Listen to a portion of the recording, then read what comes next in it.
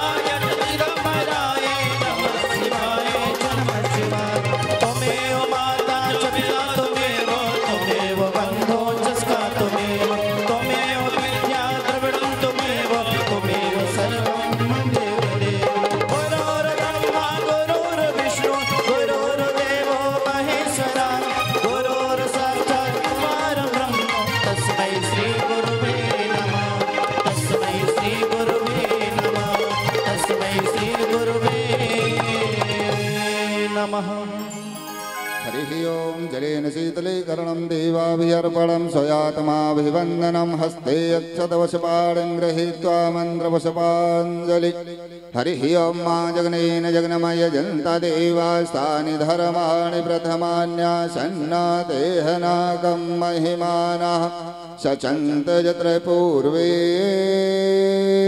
साध्याः सन्ति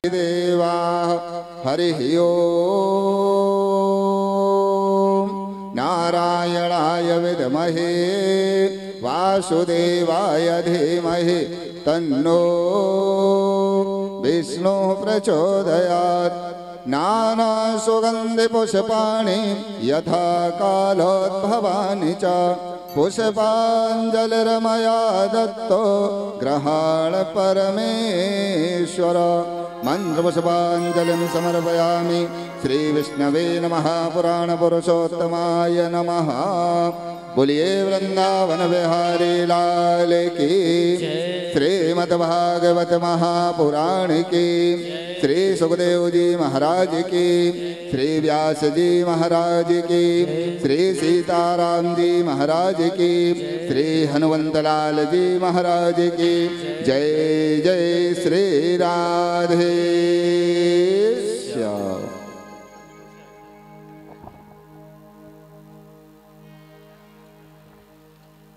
श्री राधे। राधे राधे राधे, जय जय श्री राधे। बोलिए श्री वृंदावन बिहारी लाल की जय। सभी लोग अपने स्थान पर विराजमान हो जाएँ। सभी लोग बैठ जाएँगे। और एक बार दोनों हाथ उठाकर बोलेंगे, राधे राधे। सभी लोग अपने स्थान पर विराजमान हो जाएँ। यहाँ कथा प्रांगण में पधारे हुए आप सभी भक्त वृंदों का उपाध्याय परिवार के माध्यम से बहुत बहुत स्वागत है, वंदन है, अभिनंदन है। सभी लोग अपने स्थान पर शीघ्र, अतिशीघ्र विराजमान हो जाएँ। थोड़ी देर में हम और आप सभी लोग श्रवण करने जा रहे हैं पूज्य वनाश्री की अमृतमय वाणी में आज प्रथम दिवस की पावन कथा। तो शीघ्र, अतिशीघ्र व्यवस्था बनाते हैं, आप लोग बैठ जाएँगे, जिसको जो जहाँ जगह उचित मिले, वो वहाँ विराजमान हो जाए। बहुत बहुत स्वागत, वंदन, अभिनंदन करते हैं आप श्री सभी श्रद्धालु भक्तजनों का, जो यहाँ कथा प्रसार में उपस्थित हैं। साथ ही फेसबुक यूट्यूब और साधना टीवी चैनल के माध्यम से देश देशांतर से जुड़े रहे सभी वैष्णवरी भक्तजनों को राधे राधे जय जय श्री राधे। सर्वप्रथम व्यास गादी पर आसीन होकर व्यास गादी की आभा को अलंकृत कर रहे, व्यास गादी की शोभा को बढ़ा रहे परम श्रद्धेय श्री अनिरुद्धाचार्य जी महाराज के चरणों में मेरा कोटि कोटि नमन, वंदन। साथ ही यहाँ पधारे हुए सभी अतिथि गणों का एक बार पुनः बहुत बहुत स्वागत है, वंदन है, अभिनंदन है। आज हम और आप सभी लोग प्रथम दिवस की पावन कथा में प्रवेश करने जा रहे हैं। जैसा कि आप सभी को मालूम है हम यहाँ इस दिव्य एक छत्र प्रांगण में बैठ करके पूज्य महाराज श्री की अमृतमय वाणी में श्रीमद् भागवत कथा की इस दिव्य धारा से जुड़ने जा रहे हैं, इस सेवा के पथ से जुड़ने जा रहे हैं, जिस सेवा के पथ पर पूज्य महाराज श्री संकल्पित हैं, अपना संपूर्ण जीवन समर्पित कर चुके हैं उन वृद्ध माओ की सेवा के लिए, उन वृद्धजनों की सेवा के लिए, जो आज समाज में कहीं ना कहीं दुखी हैं, जरूरतमंद हैं, असहाय हैं, पीड़ित हैं। बस उन्हीं माओ की सेवा के लिए पूज्य महाराज श्री संकल्पित हैं और अपना संपूर्ण जीवन उन माओ की सेवा के लिए समर्पित कर चुके हैं। एक ऐसा लक्ष्य, एक ऐसा उद्देश्य लेकर श्री धाम वृंदावन में चल रहे हैं, जहाँ एक ऐसा सुंदर सा प्रेमाश्रम मंदिर बनने जा रहा है, जहाँ हम और आप सभी लोग करेंगे उन ब्रह्माओं की सेवा, जिनको आज उनके अपनों के द्वारा ठुकराया गया है। एक बार जोरदार तालियाँ पूज्य महाराज के लिए और उनके इस पावन से प्रकल्प, इस संकल्प के लिए, जिन्होंने ये वीड़ा उठाया है, उन तमाम माओ को देखते हुए, उन माओ की पीड़ा को देखते हुए, जो माएँ आज घर से निकाली गई हैं, अपने अपनों के द्वारा सताई गई हैं, वो माएँ दर दर भटक रही हैं, बस उन्हीं माओं को गले लगाने का ये पावन सा प्रकल्प चलाया जा रहा है, जिससे हम और आप ही नहीं, पूरा देश जुड़ रहा है और सेवा करते हुए ये लाभ ले रहा है, पुण्य कमा रहा है श्री धाम वृंदावन से जुड़ रहा है।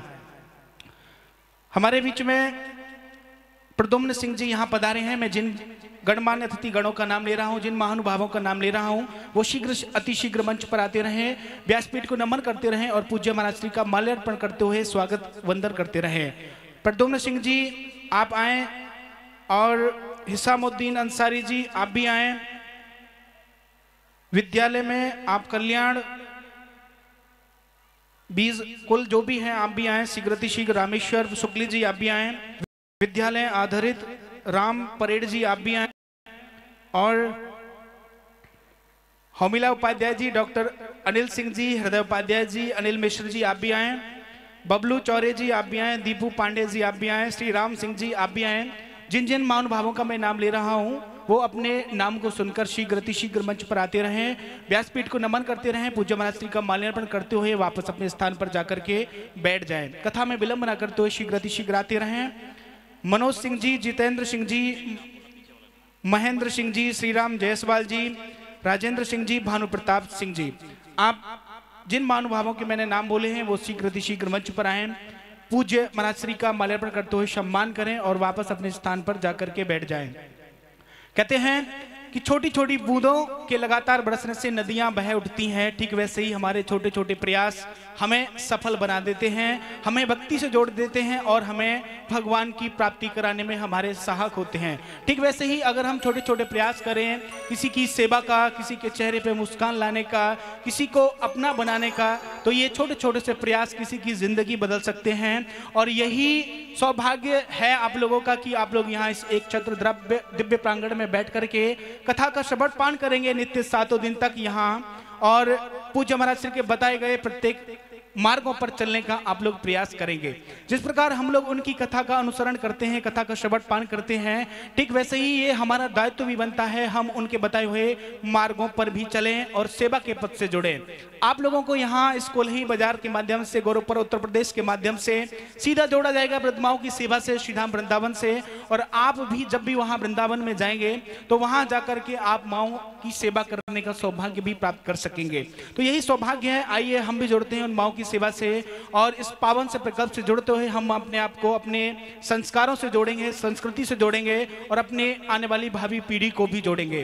कहते हैं कि भगवान की पूजा करने से माँ नहीं मिलती है, लेकिन माँ की पूजा करने से भगवान ज़रूर मिल जाता है। तो आइए हम भी करते हैं उन माओ की सेवा पूजा और करते हैं प्राप्ति उन उस भगवान की जिस भगवान को आज तक हमने नहीं देखा है। केवल सुना है, वो भगवान कहीं और नहीं है, वो हमारी माओ के ही अंदर है, माओ के रूप में विराजमान है। आइए, पावन कथा में प्रवेश करते हैं, उससे पहले एक बार पुनः दोनों हाथ उठाकर बोलेंगे, राधे राधे। आइए, अब सभी लोग दोनों हाथ जोड़कर पूज्य महाराज श्री से निवेदन करें, आज की पावन कथा में प्रवेश कराने का। आइए सभी लोग।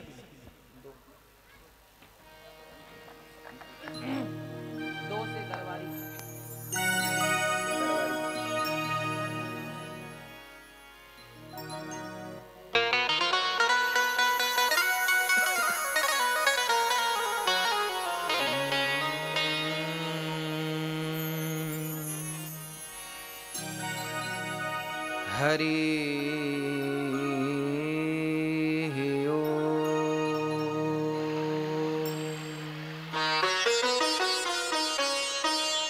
श्रीगणेशाय नमः। श्रीसरस्वत्यै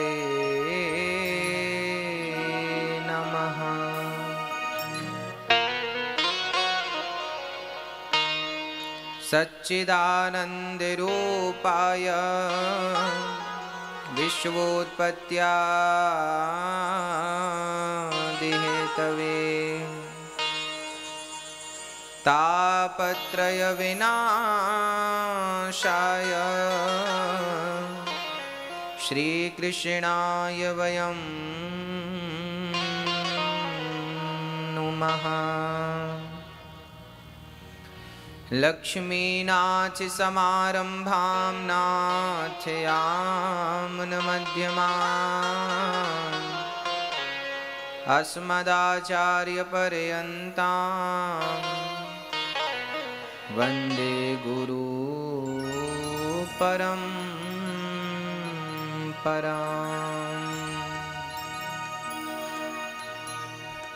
जय जय श्रीराधारमण जय जय नवल किशोर जय गोपी चित चूर प्रभु।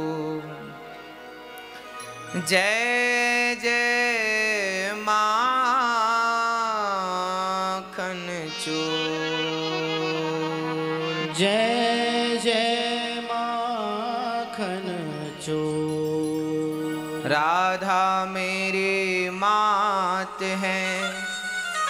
पिता मेरे घनश्याम इन दोनों के चरणों में मेरा कोटि कोटि प्रणाम।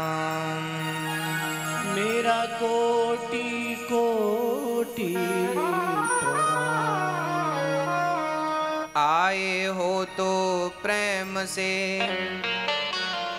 लोहरी का नाम सब भक्तों को अनिरुद्ध की।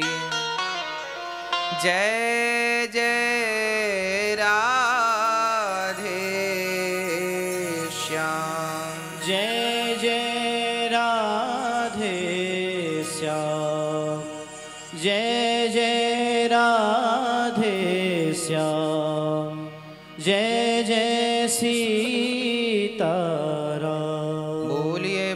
भागवत भगवान की। कृष्ण कन्हैया लाल की। आइए बड़े भाव से भगवान नाम का आश्रय लेते हैं और गोविंद के श्री चरणों में चलते हैं और प्रार्थना करते हैं कि हे नाथ, हे कृष्ण, मैं आपको कभी भूलूं नहीं। एक बार सभी लोग बोलेंगे, हे नाथ, हे कृष्ण मैं आपको कभी भूलू नहीं। बोलो, हे नाथ, मैं आपको कभी भूलू नहीं। हे कृष्ण, मैं आपको कभी भूलू नहीं। नारायण, श्रीमन्नारायण। गाइए मेरे संग। नारायण श्रीमन्नारायण। नारायण श्रीमन्नारायण। गाइए नारायण श्रीमन् माता नारायण, पिता नारायण, सतगुरु नारायण नारायण नारायण। माता नारायण, पिता नारायण। ज़ोर से। आइए भाव से चलते हैं गोविंद की शरण में।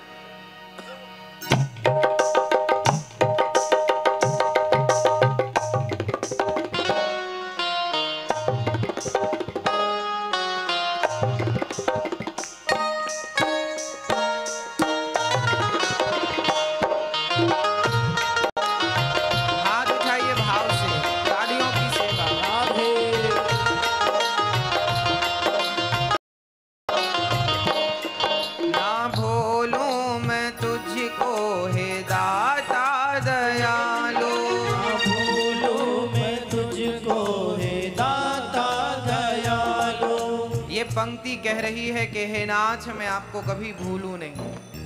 ये लाइन भगवान से हम सभी प्रार्थना कर रहे हैं कि, हे गोविंद, मैं आपको कभी भूलूं नहीं। क्योंकि हम संसार के तुच्छ प्राणी हैं।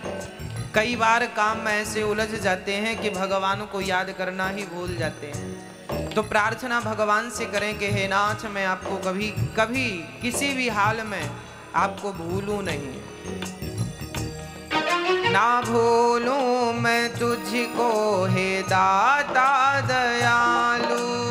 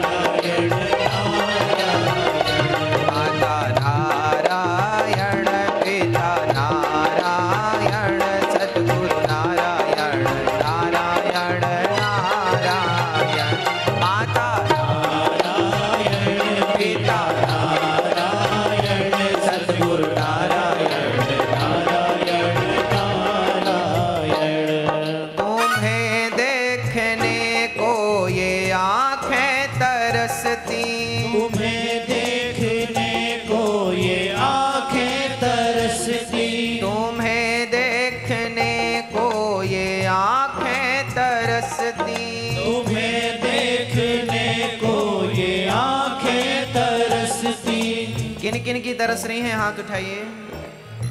आप में से किन किन को ये लगता है कि हमें इसी जन्म में भगवान मिलने चाहिए?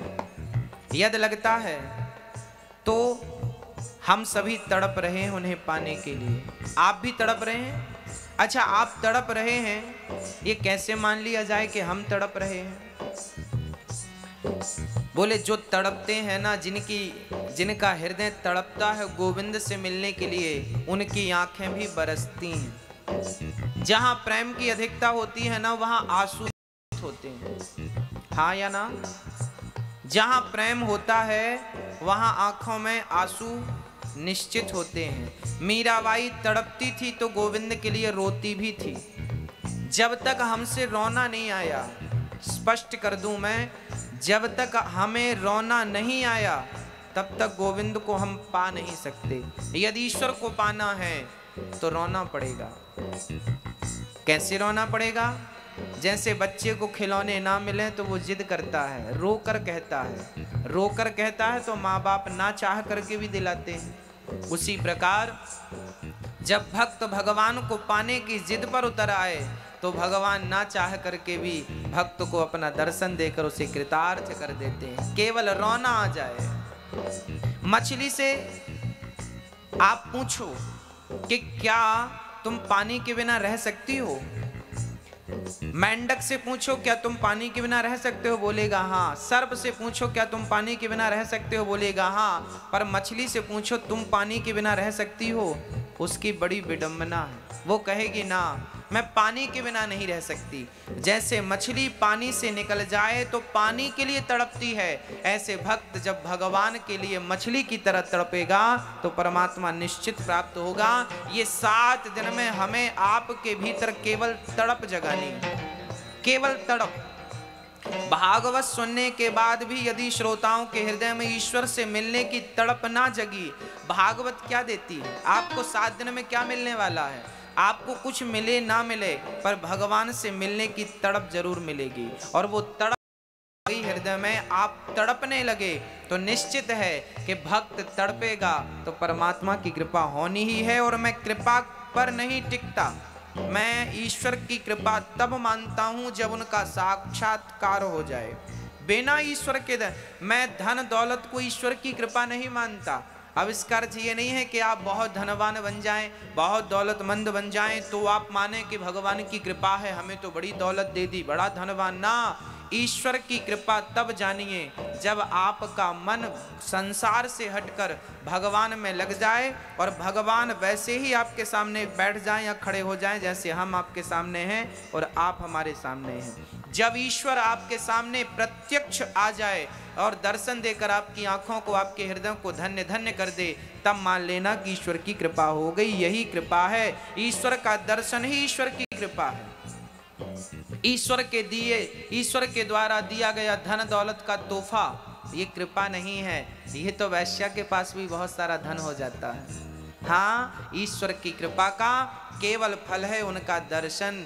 दर्शन यदि हो गया तो समझ लेना कि ये मानव तन सार्थक हो गया, ये जीवन सफल हो गया, और नहीं दर्शन हुआ तो ये जीवन बेकार चला गया। मैं प्रार्थना पुनः करूँगा, इस मानव के तन को बेकार ना जाने देना, और आँखें बंद हों, उसके पहले एक बार इन आँखों से गोविंद के दर्शन करने की जिद कर लेना। तुम केवल जिद करना, तुम केवल जिद्दी हो जाना और कुछ हमसे तो कुछ आता नहीं है ना, हम तो जिद कर सकते हैं। केवट ने जिद की कि हमें आपके चरण धोने हैं।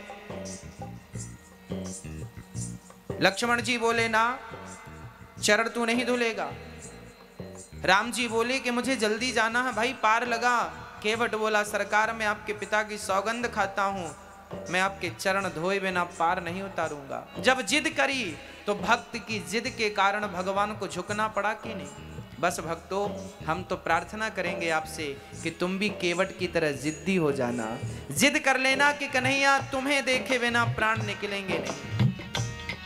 तुम्हें देखने को ये आँखें तरसती। तुम्हें देखने को ये आँखें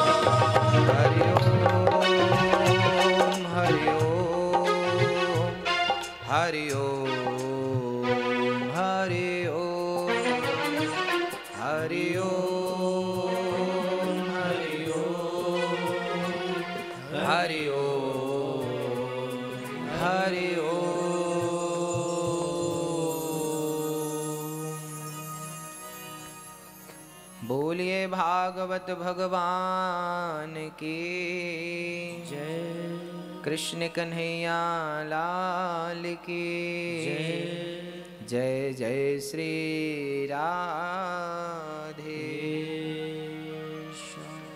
उपस्थित सभी मातृशक्ति भगवत चरणानुरागी प्रिय वैष्णव भक्त और साधना टीवी के माध्यम से जो भक्त इस कथा को घर में बैठकर श्रवण कर रहे हैं आप सभी भक्तों से जय श्री कृष्णा। राधे राधे। आप सभी को कोटि कोटि प्रणाम।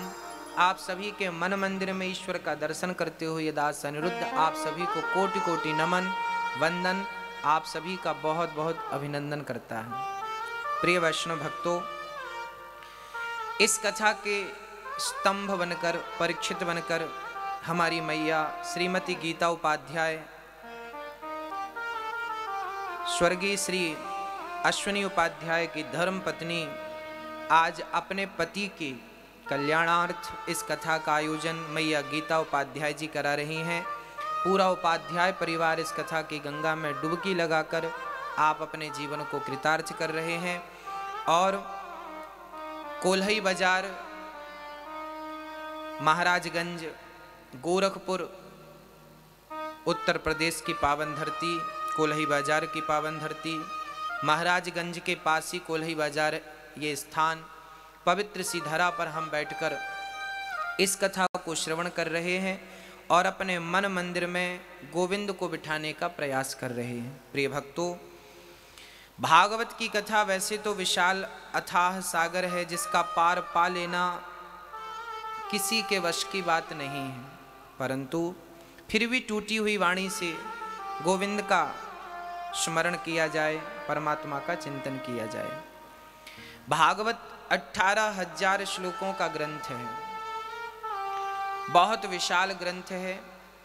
आप सभी लोगों से प्रार्थना है कि सभी लोग अपना अपना स्थान ग्रहण करें। क्योंकि आप थोड़ा एक दूसरे से दूरी भी बना के रखें क्योंकि वायरस चल रहा है, कोरोना वायरस, इसलिए थोड़ा सा दूरी बना के रखें, किसी को स्पर्श ना करें, टच ना करें, मेरी प्रार्थना सबसे है। आप में से कोई भी किसी को टच ना करें, दूर दूर ही बैठें और पूर्वक कथा को सुने। डरने की बात नहीं है, बिल्कुल आनंद का विषय है। ये कथा आनंद के लिए है और भगवान से हम सभी प्रार्थना करते हैं कि हे प्रभु, ये जो विश्व पर बहुत बड़ा संकट आया है कोरोना वायरस का, पूरे विश्व के लोग परेशान हैं। हे प्रभु, सबका कल्याण करें। इस वायरस से सभी को मुक्ति मिले और हम पुनः पहले की तरह स्वस्थ और समृद्धि की तरफ़ बढ़ें। ऐसी प्रार्थना हम भागवत जी से गोविंद के चरणों में करते हैं। आइए पावन सी कथा को श्रवण करते हैं। भागवत में अठारह हज़ार श्लोक तीन सौ पैंतीस अध्याय और द्वादश स्कंद हैं। ये अठारह हज़ार श्लोकों की क्या ज़रूरत पड़ गई इस कलयुग में? बोले, जब जब हो यह धर्म की हानि बाढ़ असुर अधम अभिमानी, तब तब धरि प्रभु विविध शरीरा। परित्राणाय साधूनाम विनाशाय च दुष्कृताम धर्म संस्थापनार्थाय संभवामी युगे युगे। जीवन में जब जब धर्म की हानि हुई, तब तब भगवान को आकर के मृत्यु लोक में धर्म की स्थापना करनी पड़ी। सबसे पहले हम आपको सुनाएँगे कि भागवत की महिमा क्या है। श्री व्यास जी महाराज लिखते हैं सच्चिदानंद रूपाय विश्वोत्पत्त्यादिहेतवे तापत्रयविनाशाय श्रीकृष्णाय वयं नुमः। सतचित आनंद। ईश्वर कैसे हैं? ईश्वर को क्या कहा गया है? भगवान कैसे हैं? बोले सतचित आनंद। भगवान को सच्चिदानंद कहा गया। सतघन, चितघन आनंद घन ईश्वर को तीन नामों से पुकारा जाता है मैया जी। क्या नाम है? बोले सत चित और आनंद। ईश्वर को सत्य सत्य किसे कहते हैं? जिसका कभी नाश ना हो उसे सत्य कहते हैं। कभी परिवर्तन ना हो उसे सत्य कहते हैं। क्या हम सत्य हैं? क्या आप सत्य हैं? क्या ये जगत सत्य है? ना। क्योंकि संसार परिवर्तनशील है, इसलिए इसे सत्य नहीं कहा जा सकता। आप जब जन्म लेते हैं तो इतने से होते हैं। आज आप इतने बड़े हैं मतलब आप परिवर्तनशील हैं। ये जगत भी परिवर्तनशील है, जो कल था वो आज नहीं है, जो आज है वो कल नहीं रहेगा। यदि परिवर्तन नहीं होता किसी में तो वो केवल एक है। वो है नारायण। वो है परमात्मा। ईश्वर। इसलिए उन्हें उन्हें आनंद कहा गया। उन्हें सत्य कहा गया। उमा शंकर जी कह रहे हैं, उमा, कहा हूँ मैं? अनुभव अपना। सत हरि भजन जगत सब सपना। हे उमा, भगवान शिव कह रहे हैं कि मैं सत्य कहता हूँ माँ सत्य हरि भजन। भगवान का नाम ही सत्य है, बाकी सब मिथ्या है, सब बेकार है। सत्य ईश्वर का नाम है। इसलिए काम करते रहिएगा और नाम जपते रहिएगा। अच्छा नाम की बड़ी महिमा है। शब्दों में बड़ी जान होती है। शब्दों में क्या होती है मेरी माँ? जान होती है। अच्छा आप लोगों को लगता है कि नहीं, शब्दों में जान होती है कि नहीं? शब्द बहुत बलशाली होते हैं। कहते हैं, तलवार जो काम नहीं करती, वो शब्द कर देते हैं। और किसी की दवाई जो काम नहीं करती, किसी भी डॉक्टर की, वो काम कभी कभी शब्द कर देते हैं। कहते हैं ना, भर जाते हैं वो घाव, वो जो बनते हैं गोली से। भर जाते हैं वो घाव, जो बनते हैं गोली से, पर वो घाव नहीं भरते, जो बनते हैं कड़वी बोली से। एक शब्द घाव करती है तो एक शब्द एक शब्द मलहम पट्टी का काम करते हैं। आइए मैं शब्दों की जान आपको बतलाता हूँ। शब्द क्या है? शब्द प्राण है। शब्द ब्रह्म है। शब्द ईश्वर है। कैसे? जरा सुनते हैं। अच्छा आप बड़े प्रसन्न चित्त से घर से निकलें और तभी सामने से कोई आपको चार गाली दे के चला जाए। तो आपकी प्रसन्नता, आपकी खुशी, आपका शांत सा मन तुरंत अशांत हो जाएगा कि नहीं? आपके चेहरे की रूपरेखा बन, बिगड़ जाएगी कि नहीं? प्रसन्नता दुख में तब्दील हो जाएगी कि नहीं? आप लाल पीले होने लगेंगे। गुस्सा आ जाएगा कि नहीं? आप घर से निकले थे प्रसन्न। रास्ते में किसी ने दो गाली दे दी, आप लाल पीले हो गए। चेहरे की रंगत उड़ गई। क्यों? किसने उड़ा दी? शब्दों ने उड़ा दी। गाली शब्द ही तो है। गाली क्या है साहब? शब्द ही गाली है। आपके शांत मन को, आप बिल्कुल शांत चित्त से बैठे हैं और कोई आपको गाली दे दे तो गाली से आपकी शांति भंग होती है या नहीं? हाँ या ना? हाँ या ना? होती है? शब्द से आपकी शांति यद भंग होती है तो एक शब्द वो है जिसे हम गाली कहते हैं, और एक शब्द ये है जिसे हम कथा कहते हैं। गाली सुनने से मन अशांत यद होता है तो याद रखना, कथा सुनने से मन शांत हो जाता है। वो शब्द मन को अशांत करता है, और ये शब्द मन को शांत कर देता है। अभी आपको शांति मिल रही है कि नहीं? ये शांति क्या है? ये शब्द ही तो है। हाँ झगड़े की जड़ क्या है? शब्द ही तो है। इसलिए शब्दों में बड़ी जान होती है। इसलिए कहता हूँ कि आप जरा सोच समझ करके कुछ बोला करें, क्योंकि क्योंकि शब्द बहुत कीमती हैं। शब्दों के महत्व को समझिए। शब्दों में बड़ी जान होती है, इन्हीं से आरती अरदास और अजान होती है। यही वो समुद्र के मोती हैं, जिसे इंसान की इंसान से पहचान होती है। ये शब्दों में बड़ी जान होती है तो भागवत शब्द है। और शब्द क्या है? बोले, मंदिर में भगवान मूर्ति के रूप में विद्यमान होते हैं, घर में भगवान माँ बाप के रूप में विद्यमान होते हैं, और भागवत में भगवान शब्द के रूप में विद्यमान होते हैं। ये भगवान का स्वरूप है, शब्द ही ब्रह्म है। मंदिर में भगवान किस रूप में है? मूर्ति के रूप में। घर में भगवान किस रूप में है? माँ बाप के रूप में।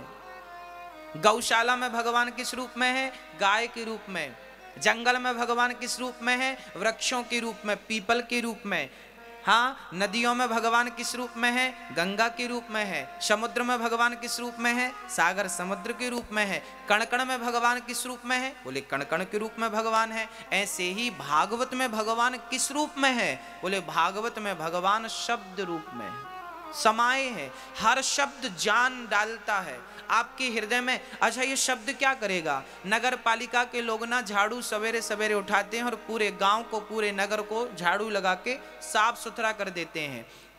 नगर पालिका के झाड़ू वाले होते हैं जो नगर को साफ़ करते हैं। और सच्ची कहूँ तो हम भी झाड़ू वाले हैं। फ़र्क इतना है कि वो बाहर की गंदगी साफ़ करते हैं और भागवत की कथा और गुरु आपके मन की गंदगी साफ़ करके चला जाता है। दोनों ही गंदगी साफ़ करते हैं। वो शहर को स्वच्छ करता है, ये मन को स्वच्छ करता है। दोनों ही कार्यरत हैं।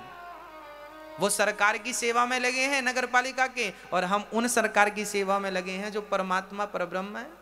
वो भी सरकारी है, हम भी सरकारी हैं, आप भी सरकारी हैं। हाँ तो ये भागवत की कथा है भक्तों, जो तन को नहीं, मन को शुद्ध करने आई है। तो सच्चिदानंद रूपाय, सतचित आनंद, ईश्वर सत्य है। अच्छा भगवान रहते कहाँ हैं? आप में से किसी को जानकारी है ईश्वर कहाँ रहते हैं? बताइए मैया जी। ओ मैया, कहाँ रहते हैं भगवान? भगवान कहाँ रहते हैं? लोग कहते हैं भगवान मंदिर में रहते हैं, भगवान कण कण में रहते हैं, कोई कहता भगवान वहाँ है, तीर्थों में है। ना, भगवान को कभी भी तीर्थों में ना ढूंढें, भगवान को कभी भी मंदिर में ना ढूंढें, भगवान को कभी भी मूर्ति में ना ढूंढें। यदि ढूंढना है भगवान को तो केवल अपने हृदय के विश्वास में ढूंढ लें। विश्वास है तो ईश्वर है, और विश्वास नहीं है तो ईश्वर ईश्वर विश्वास का ही संकल्प है। अर्थात विश्वास है तो ईश्वर है। विश्वास ही ईश्वर है और ईश्वर ही विश्वास है। मंत्र जाप मम दृढ़ विश्वासा। इसलिए प्रार्थना मैं आपसे भी से करूँगा कि भगवान की भक्ति की पहली प्रथम सीढ़ी जो है, वो विश्वास है। इसलिए भगवान के चरणों में विश्वास बनाए रखिएगा। और विश्वास नहीं, दृढ़ विश्वास। भक्ति की पहली सीढ़ी विश्वास, भगवान कहाँ रहते हैं? लोग कहते हैं, भगवान यहाँ है। कहाँ भगवान? लोग ना किसी से आप पूछना, भगवान कहाँ? वो यह कहेगा, यहाँ। उससे कहना कि यदि यहाँ है तो चलो एक्सरा करा लेते हैं। है तो निकलेंगे, दिखेंगे। ना। सत्य बराबर तप नहीं, झूठ बराबर पाप। जाके हृदय साच है। प्रभुता के हृदय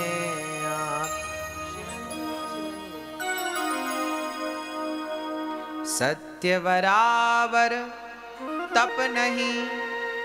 सबसे बड़ी तपस्या क्या है? जंगल में जाना तप नहीं है मेरी माँ। आपसे प्रार्थना है कभी भी जंगल जाने का विचार बिल्कुल ना करना। घर में ही रहना। पर घर में रह करके जीवन की गाड़ी सत्य की पटरी पर चलाते रहना, सत्य के मार्ग पर चलते रहना। यदि आप सत्य के मार्ग पर चलते रहे तो तुम्हें कभी भी भगवान के पास नहीं जाना पड़ेगा। भगवान खुद सत्यवादी के पास चलकर पहुँच जाते हैं। देख लो ना, दशरथ जी को जंगल थोड़ी जाना पड़ा था। दशरथ जी के घर में राम प्रकट हो गए कि नहीं बेटे बनकर? जटायु को राम के पास थोड़ी जाना पड़ा था। राम खुद जटायु के पास आए। केवट को राम के पास नहीं जाना पड़ा। राम खुद केवट के पास आए। क्या बताएँ मेरी माँ, सत्य में बड़ी शक्ति होती है। वैसे झूठ तो रावण भी नहीं बोलता था। इसलिए तो रावण को भी राम के पास नहीं आना पड़ा।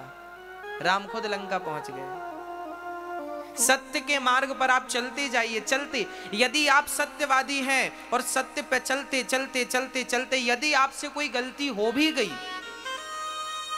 तो ईश्वर वो गलतियाँ माफ़ कर देता, कोई बात नहीं। मेरा भगत जैसे माँ बेटे की गलती माफ़ कर देती है, ऐसे भगवान भक्तों की गलतियाँ माफ़ कर देते हैं। भक्त की गलती भगवान गिनते ही नहीं। केवल सत्य के मार्ग पर चलिएगा। ईश्वर सत्यवादियों को प्राप्त होते हैं। दुर्योधन और अर्जुन। दोनों के सामने कृष्ण थे। थे कि नहीं? कृष्ण का दर्शन अर्जुन ने भी किया था और कृष्ण के दर्शन को दुर्योधन ने भी किया था। पर अर्जुन भगवान कृष्ण पर विश्वास रखता था। ये मेरे भगवान हैं। और दुर्योधन कृष्ण को किस नज़र से देखता था? अरे, ये तो छलिया है, ये तो ऐसे ही है। इसे तो हम पछाड़ देंगे युद्ध में, कोई बात नहीं। है अर्जुन को कृष्ण पर विश्वास था, जबकि दुर्योधन को कृष्ण पर कोई विश्वास नहीं था। एक रत्ती विश्वास नहीं था। दोनों को भगवान मिले, पर एक के साथ भगवान हो गए और एक के साथ नहीं। भगवान महाभारत के युद्ध में किसके संग खड़े थे? पांडवों के संग खड़े थे। क्यों खड़े थे? दुर्योधन का साथ क्यों नहीं दिया? इसलिए नहीं दिया क्योंकि पांडवों के पास कृष्ण के लिए विश्वास था और कौरवों के पास कृष्ण के लिए विश्वास नहीं था। ईश्वर तो सामने ही है। पर भगवान उसके पक्ष में हो जाते हैं, जो भगवान पर विश्वास करता है और जो सत्य के मार्ग पर चलता है। पांडव सत्य को नहीं छोड़ते तो भगवान ने उन्हें नहीं छोड़ा और दुर्योधन तो बात बात पे अपनी बात बदलता था। दुर्योधन सत्य के मार्ग को पकड़ा ही नहीं था। उसे तो युद्ध जीतना था, चाहे झूठ बोलना पड़े, छल करना पड़े, जो हो सब करना पड़े। सारी हरकत कर डाली दुर्योधन ने। भरी सभा में नारी की इज़्ज़त लूटना चाहिए यह दुर्योधन ही तो था। निर्वस्त्र करना चाह किसी, क्या ये धर्म था? क्या ये न्याय था? यदि आप अन्याय करेंगे तो क्या ईश्वर आपके संग खड़ा रहेगा? बारह वर्ष का वनवास दिया था पांडवों को, कौरवों ने, और एक वर्ष का अज्ञातवास टोटल तेरह वर्ष वनवास। उस वनवास काल में पांडवों ने कृष्ण की भक्ति नहीं छोड़ी, कृष्ण से विश्वास नहीं तोड़ा, और बस भक्ति और प्रेम में लगे रहे, विश्वास बना रहा। जब तेरह साल में पक कर लौटे तो भगवान ने कहा, तुमने उस विपत्ति के समय पे देखिए सुख संपत्ति के समय पे तो हम सब भगवान को याद करते हैं, कोई दिक्कत नहीं है। परंतु विपत्ति के समय पे भी भगवान से वही लगन लगी रहे, वही विश्वास बना रहे। बारह वर्ष तक वनवास में रहे पांडव। क्या उनका विश्वास कम हुआ? एक वर्ष तक अज्ञातवास में रहे, क्या उनका विश्वास कम हुआ? अब भगवान ने देखा कि ये पक गए हैं। अब मुझे इनका साथ देना चाहिए। याद रखना मेरी माँ, घड़ा कच्चा होगा ना, उसमें पानी भरेंगे, बह जाएगा। घड़ा पका लोगे तो पानी ठहरेगा। जिनका हृदय पक जाता है तप के बल पर। परमात्मा उन्हीं के हृदय में आकर ठहर जाता है, जैसे पके हुए घड़े में पानी ठहरता है, ऐसी पकी हुई भक्ति में गोविंद ठहरता है। भक्ति को पकनी चाहिए, और भक्ति पकेगी कब? जब विश्वास प्रबल होगा। विश्वास है, सब कुछ है। तो भगवान सत्य चित सबके भीतर विश्वास के रूप में बैठे हैं। जिन्हें विश्वास है, उन्हें भगवान मिलेंगे। अर्थात वो भगवान के करीब हैं, जिन्हें विश्वास नहीं है। अच्छा एक बात बताओ। कोई सज्जन हमसे पूछे कि महाराज जी, भगवान है तो फिर दिखते क्यों नहीं है? उन्हें दिखाओ तो हम माने कि भगवान है। अरे भाई, ये बताओ, आप अपनी आँखों में काजल लगाते हो? क्या आँखों में लगी हुई काजल को आप में से कोई भी बिना दर्पण के देख सकता है? कहो हाँ या ना? नहीं? आपकी आँखों में काजल लगा है तो क्या आप अपनी आँखों के काजल को देख सकते हैं? देख सकते हैं? देख सकते हैं? नहीं, सोचिए, आँखों का काजल आँखों से कितनी दूर है? आँखों का काजल आँखों से कितनी दूर है? अरे, आँखों में ही लगा है। आँखों में लगा हुआ काजल आँखों से दिखाई नहीं पड़ता। बिना दर्पण के तो बिना भक्ति के तुम्हें भगवान कैसे दिखाई पड़ जाएगा भाई? इन आँखों में तो काजल देखने की भी शक्ति नहीं है। इन आँखों में तो काजल को देखने की भी शक्ति नहीं है। बिना दर्पण के तो बिना भक्ति के, बिना विश्वास के तुम्हें भगवान कैसे दिखेगा? कॉमन सेंस है ये। कैसे नज़र आएगा? इसलिए ईश्वर को देखना हो तो पहली शर्त है विश्वास। ईश्वर सत्य है चित है, और ईश्वर का नाम आनंद घन है। भगवान का नाम आनंद है। नंद के आनंद भयो। जय कन्हैया। लाल की ईश्वर का तीसरा नाम आनंद है, इसलिए उसे सच्चिदानंद कहा जाता है। याद रखना भक्तों, आप कितने भी भोग भोग लीजिए। पत्नी के संग कितने भी भोग भोगिए, रसगुल्ले कितने भी खाइए, आप पेट भर के भोजन करिए। आप खूब नींद भर सोइए, आप खूब पैसा कमाइए, सोने चांदी खूब इकट्ठा करिए। आप बड़ा सा बड़ा महल बनाइए, सब करिए, परंतु संसार में सुख तो मिलेगा, आनंद नहीं मिलेगा। पत्नी में क्या मिलता है? सुख। पति में क्या मिलता है? सुख। बच्चों में क्या मिलता है? सुख। खाने में क्या मिलता है? सुख। और याद रखना, यदि सुख है तो उल्टा दुख भी होगा। दिन है तो रात रात का उल्टा दिन दिन का उल्टा रात, सुख का उल्टा दुख दुख का उल्टा सुख। हाँ? हानि का उल्टा, लाभ लाभ का उल्टा हानि। यदि दिन है तो रात भी है, सुख है तो दुख भी है। संसार में यद सुख है तो अपोजिट दुख भी होगा। आनंद का उल्टा बताइए क्या है? सुख का उल्टा दुख है, दिन का उल्टा रात है, आनंद का उल्टा क्या है? आनंद का उल्टा होता ही नहीं। संसार में यदि आप जाएँगे तो सुख मिलेगा, और सुख मिलेगा तो दुख भी मिलेगा। आप बताइए, आप अपना अनुभव बताइए। आपको शादी के पहले सुख था? शादी के बाद फिर क्या मिला थोड़ा सा सुख तो मिला, पत्नी का सुख मिला, और उसके बाद फिर दुख भी तो मिला। ये संसार कैसा है? खुजली की तरह है। खुजली को खुजलाने में बड़ा स्वाद मिलता है, बड़ा मज़ा आता है, पर उसके बाद जो जलन होती है ना, वो बड़ी दर्दनाक होती है। संसार के विषयों में सुख तो मिलता है, बड़ा मज़ा आता है, पर उस मज़े के बाद जो सजा मिलती है, बड़ी दर्दनाक होती है।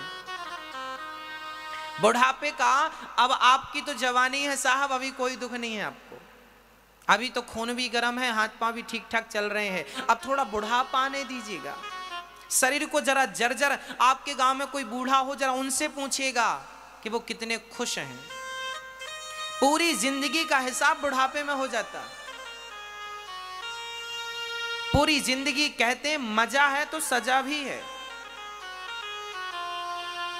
यदि आपकी जवानी पत्नी में बीती है, आपकी जवानी पुत्रों में बीती है, भोगों में बीती है और पैसे पैसे हाय हाय में बीती है तो आपका बुढ़ापा दुखद होना ही है। कोई टाल नहीं सकता।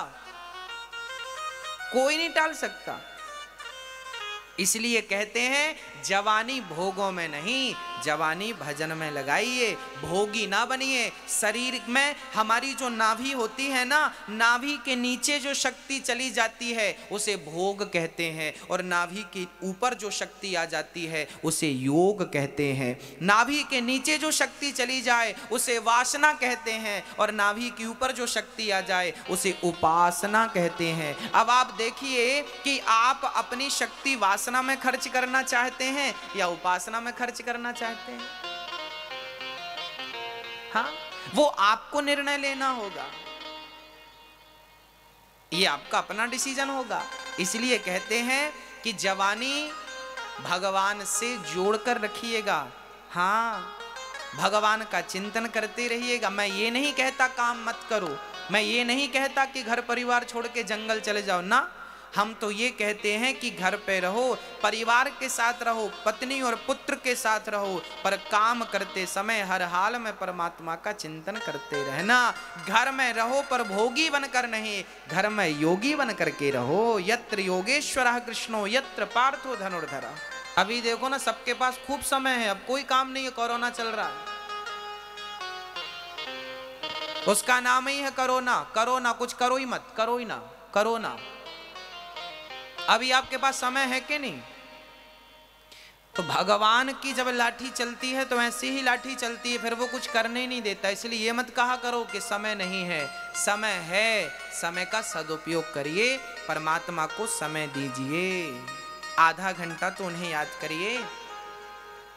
कम से कम आधा घंटा, कम से कम उनका चिंतन करिए। तो भगवान का नाम सत्य चित आनंद। है ना? हाँ सच्चे हृदय से श्याम का सुमिरन किया करो।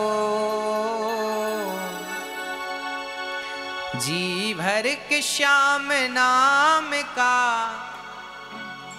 जी भर के श्याम नाम का प्याला पिया करो। सच्चे हृदय से श्याम का सुमिरन किया करो। आधा घंटा बैठिए, पत्नी से, परिवार से दूर होके। चिंतन करिए भगवान का भाव बनाइए कि हम भगवान की शरण में हैं। भाव भाव बनाइए कि हम भगवान के दर्शन कर रहे हैं। भाव बनाइए कि हम वृंदावन में हैं, हम अयोध्या में हैं, हम शरीर स्नान कर रहे हैं। भाव बनाइए कि हम राम लला का दर्शन कर रहे हैं। भाव तन से कहीं रहिए। फ़र्क नहीं पड़ता कि आप तन से कहाँ हैं, मन से कहाँ हैं। इसलिए इसलिए करना क्या है?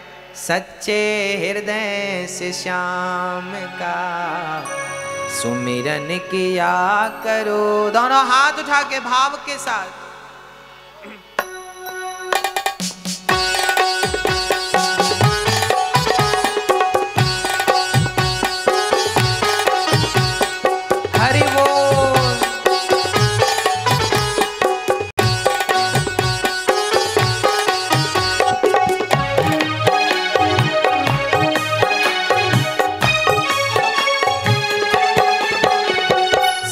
सच्चे हृदय से श्याम का सुमिरन किया करो।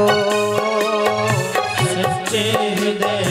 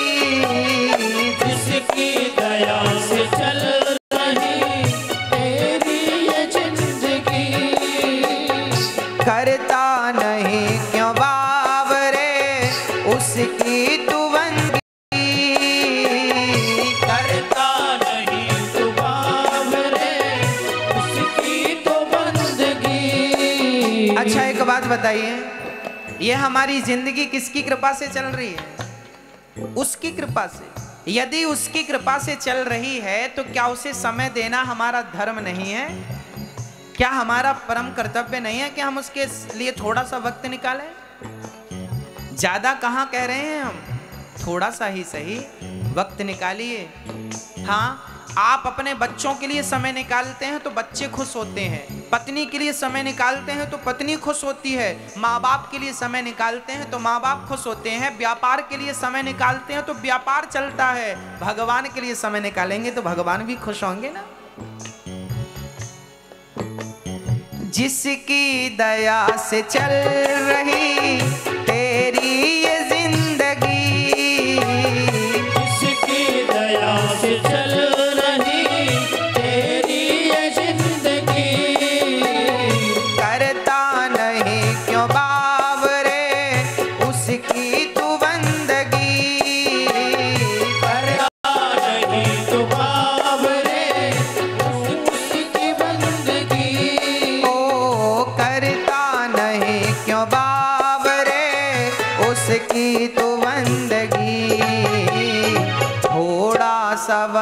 शाम को अर्पण किया करो।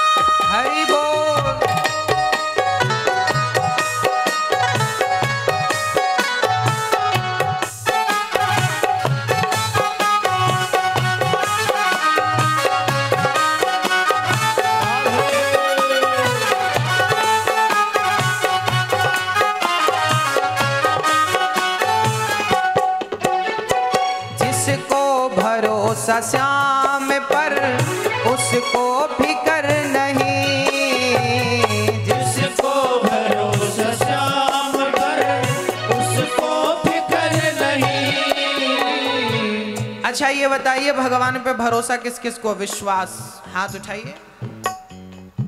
अब नीचे करिए। अब ये बताइए, आप में से टेंशन, चिंता किस किस को है? जिसको थोड़ी सी भी चिंता और टेंशन है, हाथ उठाओ।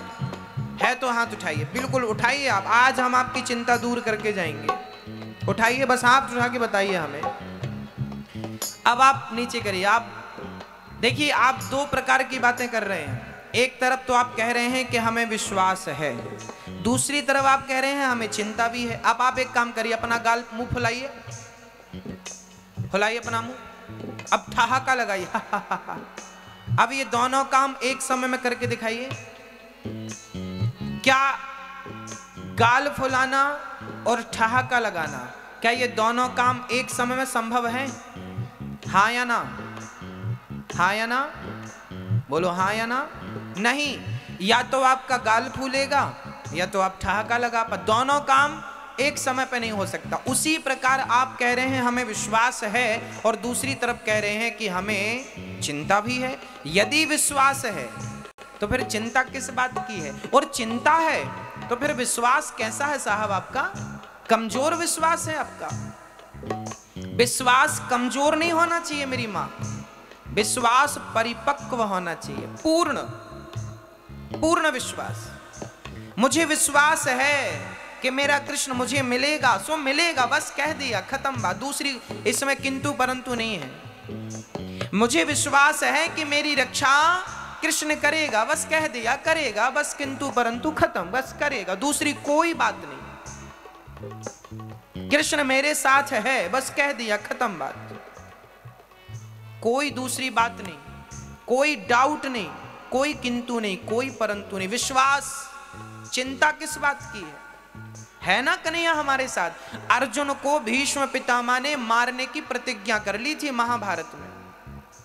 कल के युद्ध में मैं पाँचों पांडवों को मार डालूँगा। या कल का युद्ध मेरा अंतिम युद्ध होगा। ये भीष्म पितामह की प्रतिज्ञा थी। ये वही भीष्म पितामह है, गंगा पुत्र शांतनु नंदन जिनकी प्रतिज्ञा कभी मिथ्या नहीं होती मेरी माँ। हाँ जिनकी प्रतिज्ञा कभी मिथ्या नहीं होती। उन्होंने प्रतिज्ञा की, कल मैं पांडवों को मार डालूँगा। या कल का युद्ध मेरा आखिरी युद्ध। ये बात जब अर्जुन ने सुनी तो अर्जुन तो रजाई ओढ़ के सो गए। कन्हैया रात्रि के बारह बजे आए, अर्जुन उठ, कल की कुछ रणनीति तो बना, कल पितामा ने प्रतिज्ञा ली है, तुझे मारने की कोई रणनीति नहीं बनाने क्या? कोई तो रणनीति बना। अर्जुन बोले, प्रभु, मुझे सोने दो, आप भी सो जाओ मेरे संग। क्यों? तुझे कल की चिंता नहीं है? कल की फ़िक्र नहीं है? अर्जुन ने कहा था, कन्हैया, जिनके सिर पर आपका हाथ हो और जिनकी गाड़ी स्वयं आप चला रहे हो, उसे फ़िक्र करने की क्या ज़रूरत है प्रभु? हमारी फ़िक्र तो आप करेंगे ना, हम क्यों करें? अब कल के युद्ध में हमें बचाना है या कल के युद्ध में हमें मार डालना, वो आप समझिए। हम क्यों समझे? हमने तो विश्वास कर लिया आप पर। गाड़ी की डोर आपको दे दी, चाहे तो पार लगाओ, चाहे तो डुबाओ, हमें क्या करना? इसे क्या कहते हैं मेरी माँ? इसे कहते हैं विश्वास। इसे क्या कहते हैं? इसे विश्वास कहते हैं। और जब विश्वास ऐसा होगा तो फिर चिंता होगी क्या? अभी आप लोगों को जिन जिन को चिंताएँ हैं, मैं मानता हूँ, मैं कह सकता हूँ कि आपको यदि चिंता है तो विश्वास नहीं है आपके अंदर। क्या कह देने से थोड़ी होता है कि मैंने कह दिया कि मुझे विश्वास है, सो हो गया। ना, मेरी माँ, विश्वास उसी के हृदय में है, जिनके अंदर चिंताएँ नहीं है, जिनके अंदर कुछ भी चिंताएँ हैं, अभी विश्वास पूरा नहीं है। सौंप दो, अब सौंप दिया इस जीवन का सब भार तुम्हारे हाथों में। है जीत तुम्हारे हाथों में, है हार तुम्हारे हाथों में। आपको ही पार लगाना है, आपको ही डुबाना है। अब पार लगा दो या डुबा दो मर्ज़ी आपकी। है जिसको भरोसा श्याम पर उसको फिकर नहीं। जिसको भरोसा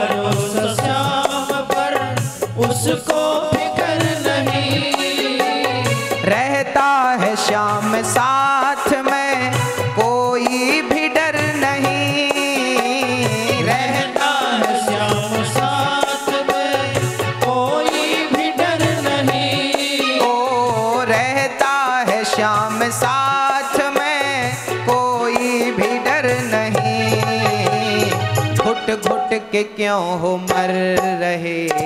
हंस कर जिया करो। घुट घुट के क्यों हो मर रहे? हंस कर जिया करो।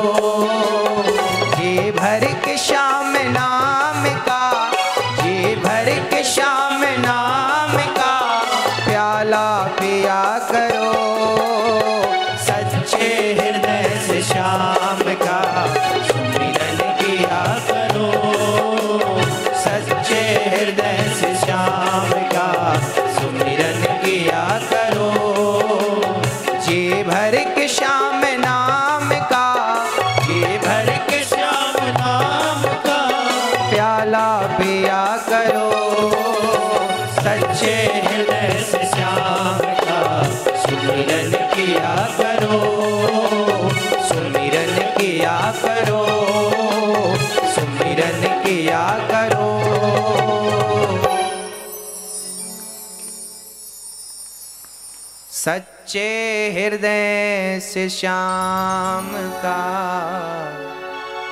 सुमिरन किया करो। जी भर के श्याम नाम का प्याला पिया करो। राम नाम का प्याला पीते जाओ पीते जाओ, जब तक मन मंदिर में गोविंद का दर्शन ना होने लग जाए, तब तक पियो। आएँगे भगवान, धैर्य रखिएगा। तो भक्तों, भगवान सच्चित आनंद है। अच्छा भगवान करते क्या है मेरी माँ? बोले, विश्वोत्पत्तियादि है तवे। भगवान विश्व की उत्पत्ति करते हैं, पालन करते हैं और संहार करते हैं। अच्छा बताइए, भगवान का हेड ऑफ़िस कहाँ है? कहाँ मिलेंगे भगवान? बताइए, ईश्वर का हेड ऑफ़िस कहाँ है? कहाँ? भगवान का हेड ऑफ़िस कहाँ है? आज मैं बताऊँगा और वहाँ भगवान मिलते हैं। आप में से जितने यहाँ बैठे हैं, सबको भगवान मिले हैं।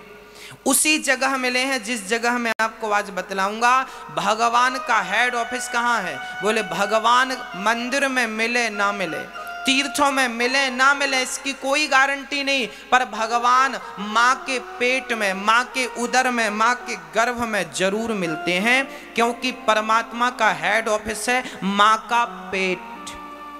क्या? भगवान का? माँ का पेट। अब आप कहेंगे, महाराज जी, माँ के पेट में भगवान हाँ मिलते हैं। अच्छा ये बताओ, जब आप अपनी माँ के पेट में थे तो क्या आपकी माँ और आपके पिताजी आपकी आँख लगाने गए थे? आँख सही जगह पे लगी ना आपकी? कान भी सही जगह पे लगे हैं? हाथ पाँव भी आपकी सही जगह बिल्कुल फिट हैं? तो आपकी मम्मी ने सेट किया था कि पापा ने? माँ बाप की जो क्रिया है, वो उन्होंने कर ली। आगे का काम ईश्वर का होता है। माँ गर्भवती हो गई हो गई हो गई। उसके बाद अब परमात्मा का काम शुरू हुआ। सही जगह पर आँख, सही जगह पर कान, सही जगह पर मुँह। नौ महीने बैठा भगवान क्या करता है? अरे तुम्हें ही तो बनाता है। ये पूरी दुनिया में तुम्हें जो भी दिख रहा है, जितने भी मनुष्य दिख रहे हैं आपको, इन सभी मनुष्यों को परमात्मा ने कहाँ बैठकर बनाया, ये बताओ। माँ के पेट में बैठ के बनाया, चाहे वो चीटी माँ हो, चीटी मादा, चीटी की माँ हो चीटी भी अंडा रखती है तो वो अंडे की आकृति कहाँ बनती? अंडे में जान कहाँ डाली जाती है? माँ के पेट में? हथिनी गर्भवती होती है तो हथिनी का बच्चा भी उसके पेट पे। बिच्छू गर्भवती होती है तो बिच्छू का बच्चा भी उसके पेट पे। सरपणी गर्भवती होती है तो उसका मतलब पूरी दुनिया मछली का बच्चा भी उसके पेट में ही डेवलप होता, बनता। अर्थात परमात्मा ने पूरी दुनिया बनाई, कहाँ बैठ के बनाई? ब्रह्मलोक में बैठ के नहीं बनाई, पाताल लोक में बैठ के नहीं बनाई, स्वर्ग लोक में बैठ के नहीं बनाई, भगवान ने दुनिया बनाई है तो माँ के गर्भ में बैठ करके दुनिया बनाई है। ये परमात्मा की भगवत्ता, अब कोई कहे कि ईश्वर है इसका चमत्कार बताइए, कोई सबूत दीजिए, आज मैं आपको सबूत दे रहा हूँ। ईश्वर है इसका सबूत आपको दे रहा हूँ। जब तक आप माँ के पेट में होते हैं ना आप पानी में रहते हैं, कहते हैं माँ के गर्भ में एक झिल्ली होती है, जिसमें बच्चा होता है। उसमें पानी भरा होता है साहब? क्या भरा होता है? पानी। यदि पानी बाहर आ जाए ना तो बच्चे के मरने की संभावना बढ़ जाती है। डॉक्टर कहते हैं, पानी खत्म हो गया, पानी बाहर आ गया। अब सोचिए कि माँ के पेट में भगवान पानी में रहता है। माँ के गर्भ में बच्चा पानी में, और वही बच्चा जब पैदा होता है, उसके बाद आप पानी में डाल दो तो मर जाएगा।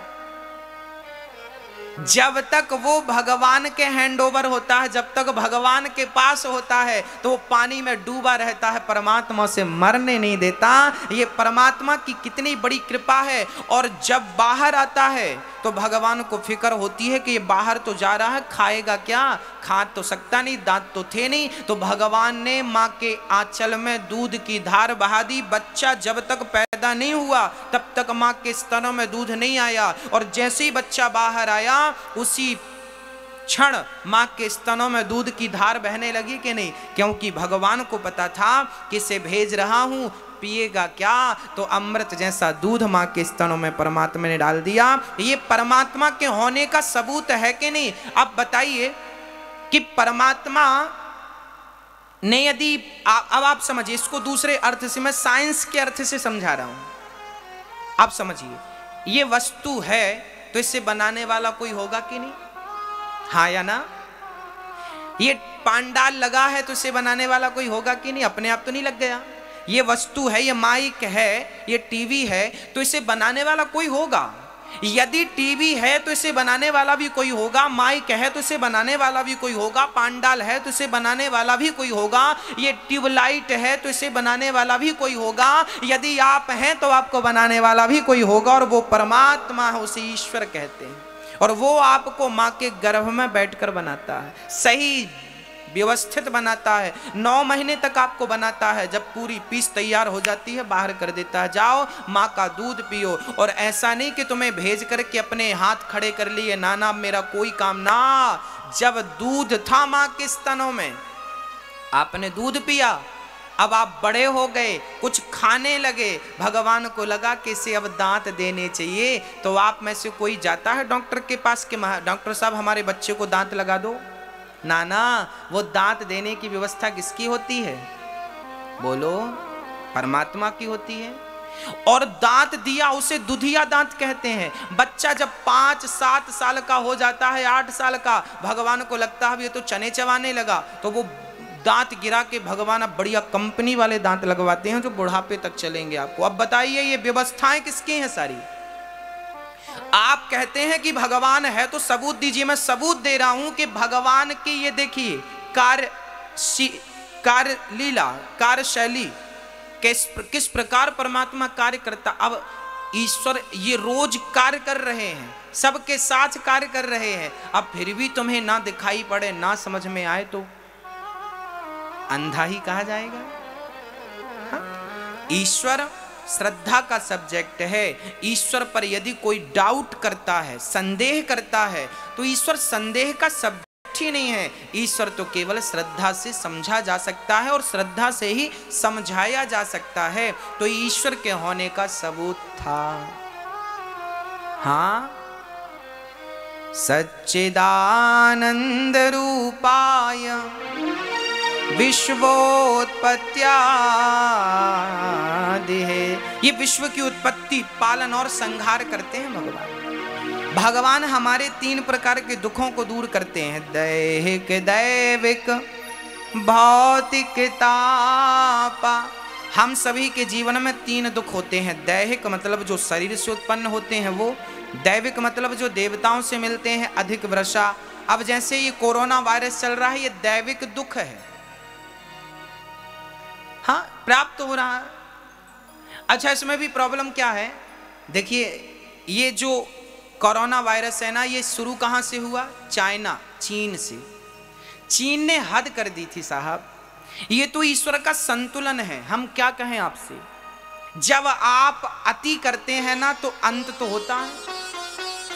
चाइना के लोग ज़िंदा ही मांस खाने लगे थे। मतलब ज़िंदा मछली को खा जाते, ज़िंदा बिच्छू को खा जाते, ज़िंदा सर्प को, वहाँ पर कुत्ते का मांस, डॉग का मांस, डॉगी का अर्थात कुत्ते का मांस खाते हैं।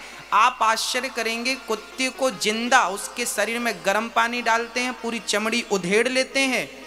ज़िंदा रहता है वो और उसका आधा अंग पका के खाते हैं, ज़िंदा, प्राण निकलती नहीं।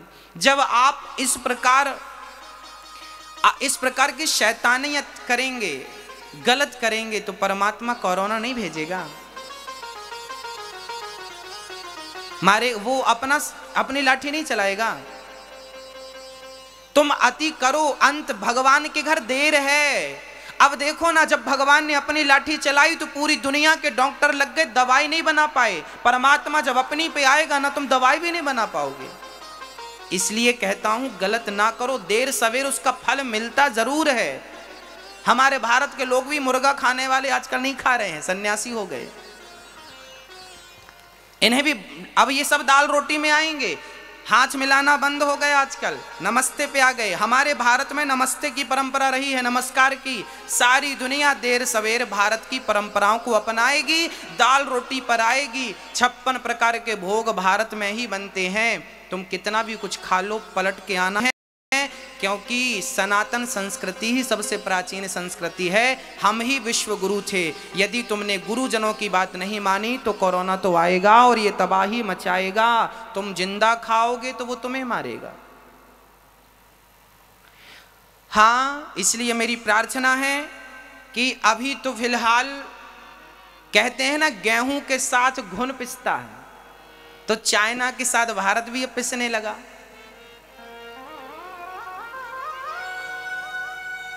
इसलिए हम कहते हैं, मांस ना खा हम कथाओं में कहा करते हैं, अंडे ना खाया करो, मुर्गी ना खाया करो, मछली ना खाया करो। मांस, किसी की जान लेना कहाँ तक सही है? सही है आपके हिसाब से। जान लेना सही है। यदि आप में शक्ति है तो आप किसी मरी हुई मछली को ज़िंदा करके दिखाओ। है शक्ति आप में से किसी की? हाँ या ना? आप में से किसी के अंदर ताकत है कि मरी हुई मुर्गी को आप ज़िंदा कर सकें? है ताकत? यदि मरे हुए को ज़िंदा नहीं कर सकते आप तो ज़िंदा को मारने का अधिकार किसने दिया साहब आपको? और यदि आप ये करते हैं तो परमात्मा की लाठी तो चलेगी। देर सवेर चलेगी ना? इसलिए कहते हैं, अति ना करना, अति का अंत। हाँ। अति कभी मत करना बंदे। है ना? अति कभी अति कभी मत करना बंदे इति तेरी हो जाएगी। बिन पंखों के पक्षी जैसी गति तेरी हो जाएगी। अति सुंदर थी सीता मैया, जिनके कारण हरण हुआ। अति अभिमानी था वो रावण, जिसके कारण मरण हुआ। अति अति ना करना बंदे इति तेरी हो जाएगी। बिन पंखों के पक्षी जैसी गति तेरी हो जाएगी। अति ना करना, बस। तो भगवान दैहिक दैविक भौतिक तापा जो भगवान की शरण में हो से कोई भी दुख नहीं आता। यदि आप में से किसी को कोई भी प्रकार का दुख है तो हम तो आपसे प्रार्थना करेंगे कि आप भगवान की शरण में रहिए। और मैं आपसे एक छोटी सी निवेदन ये भी करूँगा कि आप सभी लोग ज़्यादा से ज़्यादा हल्दी खाएँ। क्या खाएँ? क्या खाएँ? ज़ोर से बोलें। कोरोना वायरस जो है ना, इससे हमें लड़ना है। अर्थात इसे पराजित करना है, क्योंकि ये हमारे भी देश में आ चुका है। तो हम इससे कैसे लड़ें? अब मैं आपको कुछ उपाय बताता हूँ कोरोना से लड़ने के। आप सभी बच्चे हों या बूढ़े हों, सभी एक चम्मच हल्दी खाएँ। हल्दी सबसे बड़ी एंटीबायोटिक होती है। रोग प्रतिरोधक क्षमता सबसे ज़्यादा किसी में है। हमारे भारत में सबसे बढ़िया चीज़ हम लोग हल्दी को मानते हैं। हल्दी एक चम्मच सवेरे खा लो, एक चम्मच शाम को गुनगुना पानी के साथ। चाहे बच्चों को थोड़ा आधा चम्मच दो, हल्दी कोई नुकसान नहीं करती, आप ये मत सोचना। आप लोग प्रश्न बड़ा करते महाराज जी, पानी ठंडा पिए, हल्दी के साथ के गर्म, कैसा भी पी लो। सवेरे हल्दी खाए महाराज जी, शाम को, आधी रात को खाओ, कोई प्रॉब्लम नहीं। बस हल्दी आपके पेट में जानी चाहिए। एक चम्मच सवेरे खाना, एक चम्मच शाम को खाना। और ये तो परमानेंट खाओ, हल्दी, कोई प्रॉब्लम नहीं। और कपूर अपने पास रखो, कर्पूर। कर्पूर, हम लोग आरती करते थे ना भगवान की। अच्छा हमारे भारत में क्या क्या परंपराएँ थी? हमारे यहाँ शाम होते ही घर पे दिया जलाया जाता था। दिया बत्ती कहते थे कर लो, अर्थात दीपक जला दो। हम लोग दिया जलाते थे देसी घी का, क्योंकि पहले के जमाने में तेल का कोई दिया नहीं जलाता था, क्योंकि सबके घर गाय होती थी।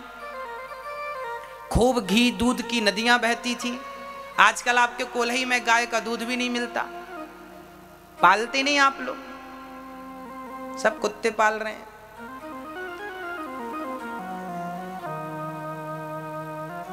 गाय का घी, एक तोला मतलब दस ग्राम को एक तोला बोलते हैं। आप क्या क्या बोलते हैं? दस ग्राम, ये मैं नहीं बोलता, साइंस बोलता है।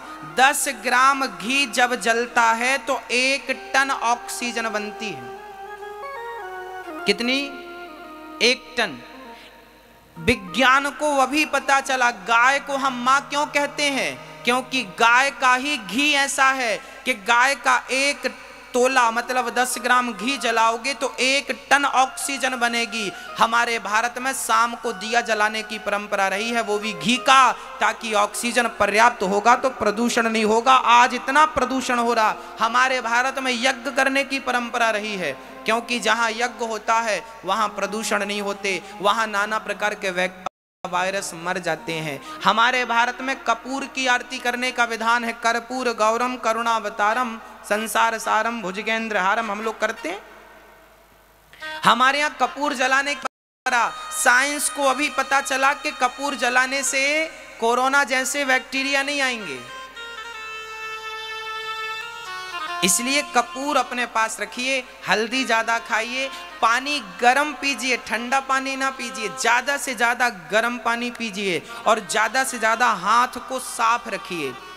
साबुन से मिट्टी से, राख से बढ़िया से हाथ धुलते रहिए सैनिटाइजर लगाते रहिए, बढ़िया हाथ स्वच्छ रखिए, हाथ साफ़ रहेंगे, हाथ किसी से मिलाना नहीं है। राम राम करना भैया जी, राम राम, राधे राधे, भारत की प्राचीन परंपरा पे आओ।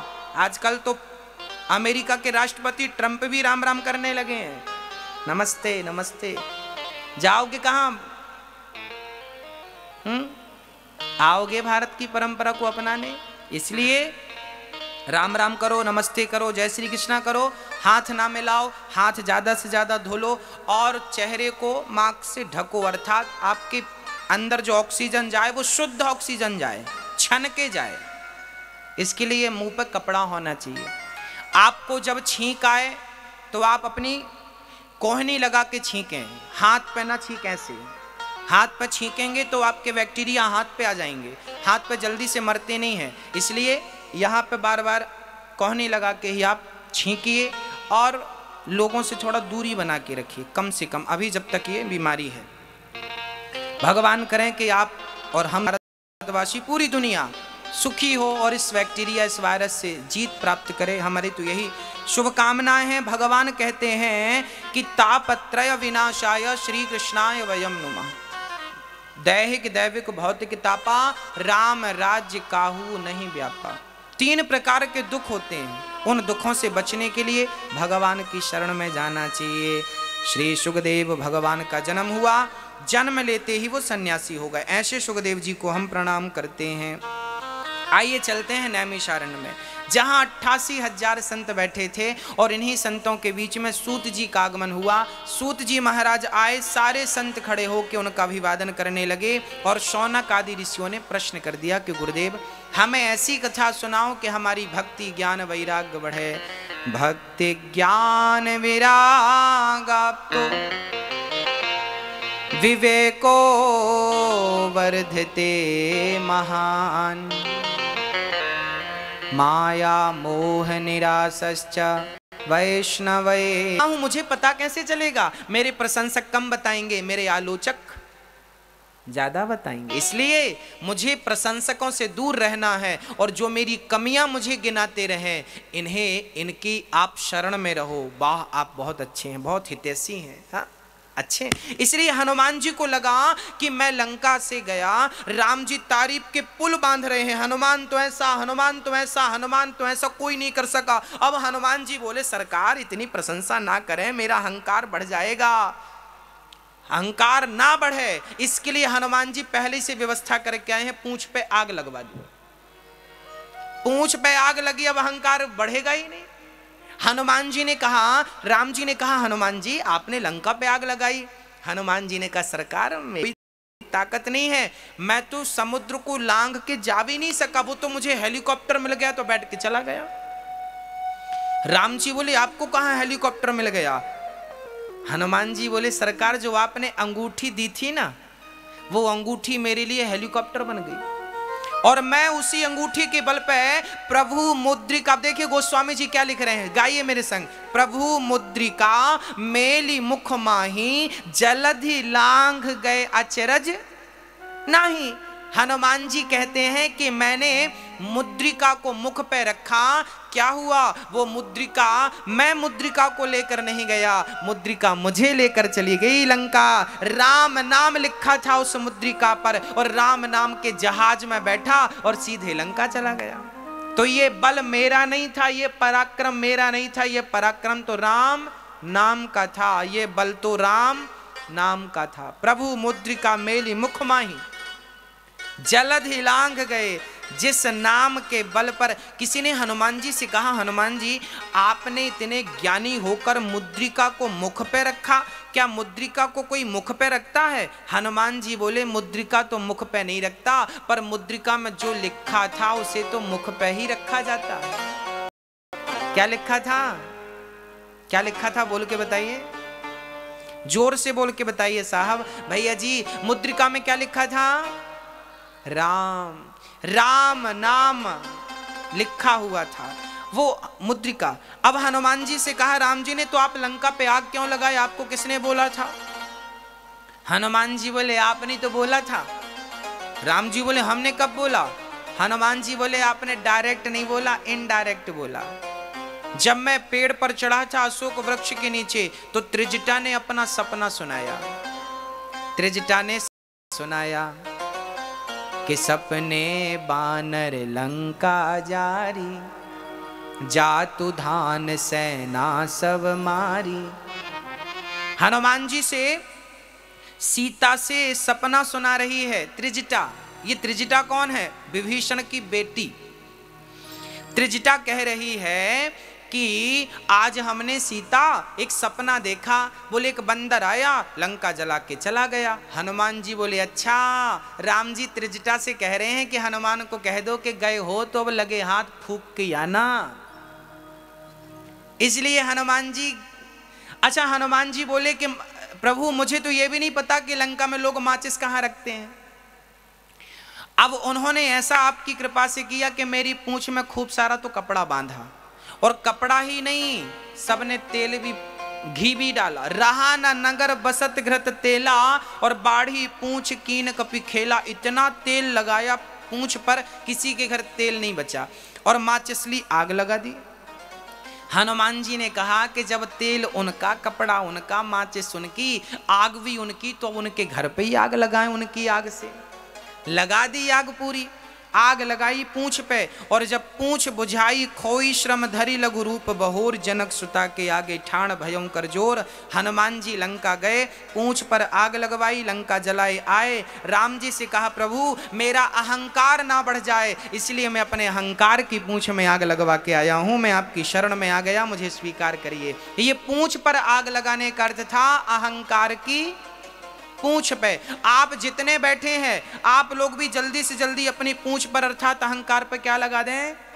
आग लगा दें। और हमें इसने नहीं पूछा, उसने नहीं पूछा, ये पूछ वाला झगड़ा खत्म कर दें। आज से पूछ का झगड़ा कौन कौन खत्म करेगा? हाथ उठा के बताओ। मैया आप नहीं करोगी? उठाओ हाथ।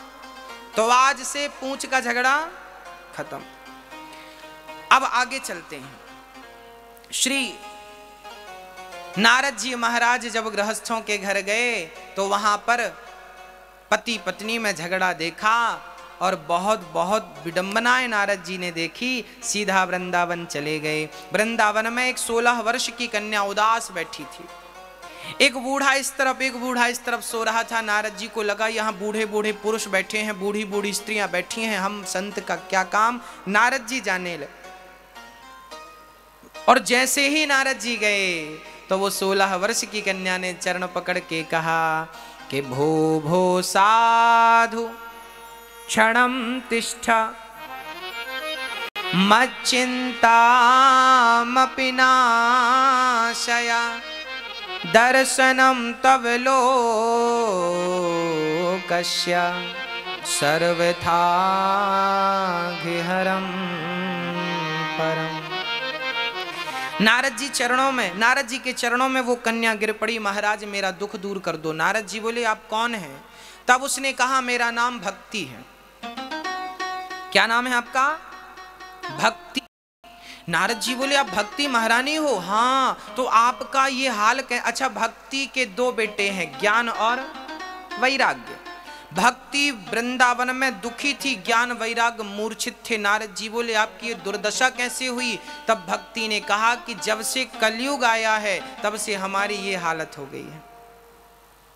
कलयुग ने हमारा जीवन समाप्त कर दिया है। भक्ति के पूछ भक्ति के कुछ ग्राहक तो फिर भी हैं, पर ज्ञान और वैराग्य के कोई ग्राहक नहीं है, कोई पूछने वाला नहीं है। बड़ी विडंबना है। नारद जी के चरणों में भक्ति महारानी कहती है, महाराज, मेरा दुख दूर करो। मैं आपकी शरण में हूँ। नारद जी कहते हैं, देवी, कुछ करता हूँ। नारद जी ने वेद, पुराण, गीता सारा पढ़कर सुनाया, सब कुछ सुनाया। पर भक्ति का दुख दूर बिल्कुल नहीं हुआ। तब आकाशवाणी हुई सत्कर्म करो। नारद जी सत्कर्म की खोज पर गए। बद्रीनाथ में चार संत मिले, सनक, सनंदन, सनातन, सनत कुमार। इन चारों संतों ने कहा, नारद जी, कथम ब्रह्मन दीन मुखा कुतश्चिंतातुरो भवान। त्वरितम गम्यते कुत्र। आप बताइए हमें आपकी उदासी परेशानी का कारण क्या है? तब नारद जी बोले कि भक्ति जैसी नारी दुखी है, आज कलयुग में ज्ञान वैराग्य दुखी है तो औरों की क्या हालत होगी? तब सनकादियों ने कहा, नारद जी, श्रीमद भागवत की कथा यदि भक्ति ज्ञान वैराग्य को सुनाई जाए तो इस कथा से उनका दुख निश्चित ही दूर होगा। नारद जी ने कहा, महाराज, मैंने गीता, वेद, पुराण सब सुनाए, दुख दूर नहीं हुआ तो क्या भागवत से होगा? हाँ दूध से ही घी बनता है। दूध से दही दही से मंथन। मंथन करो, दही का मक्खन पकाओ, घी। दूध से ही घी निकलता है, फिर भी जो शक्ति घी में है, वो शक्ति दूध में नहीं है। घी से आप पूड़ी बना सकते हैं। क्या दूध से पूड़ी बनेगी? घी से दिया जला सकते हैं। क्या दूध से दिया जलेगा? ये तो सच है कि दूध से ही घी निकलता है, पर घी जितना पावरफुल है, दूध इतना पावरफुल नहीं है। उसी प्रकार वेद पुराणों से ही भागवत का जन्म हुआ है। भागवत में जो शक्ति है मोक्ष देने की, वो शक्ति किसी के अंदर नहीं है, क्योंकि ये तो सारम सारम समुद्रतम, ये सार है। ये सबका क्या है? सार है, गन्ना इतना लंबा होता है, उसका सार एक गिलास में आ जाता है, उसका रस। उसी प्रकार चार वेद आप कहाँ पढ़ने जाएँगे? अठारह पुराण में सबसे आखिरी में लिखा गया है श्रीमद् भागवत पुराण। चार वेद होते हैं, सामवेद, ऋग्वेद, यजुर्वेद अथर्व वेद इन चारों वेदों का सार भागवत है और सत्रह पुराण का सार ये अठारहवा पुराण भागवत। ये सुन लिया तो सब सुन लिया। तो ये सार है। अब नारद जी महाराज को बात अच्छी लगी और नारद जी ने कहा तो सुनाओ। तो बढ़िया बद्रीनाथ से संत चले हरिद्वार की धरती पर बैठे, गंगा का तट था, बढ़िया सी बालू बिछी थी, चार आसन लगाई, सनक, सनंदन, सनातन, सनत कुमार के लिए कथा प्रारंभ हो गई। कथा प्रारंभ हो गई। सदा से ब्या सदा सेव्या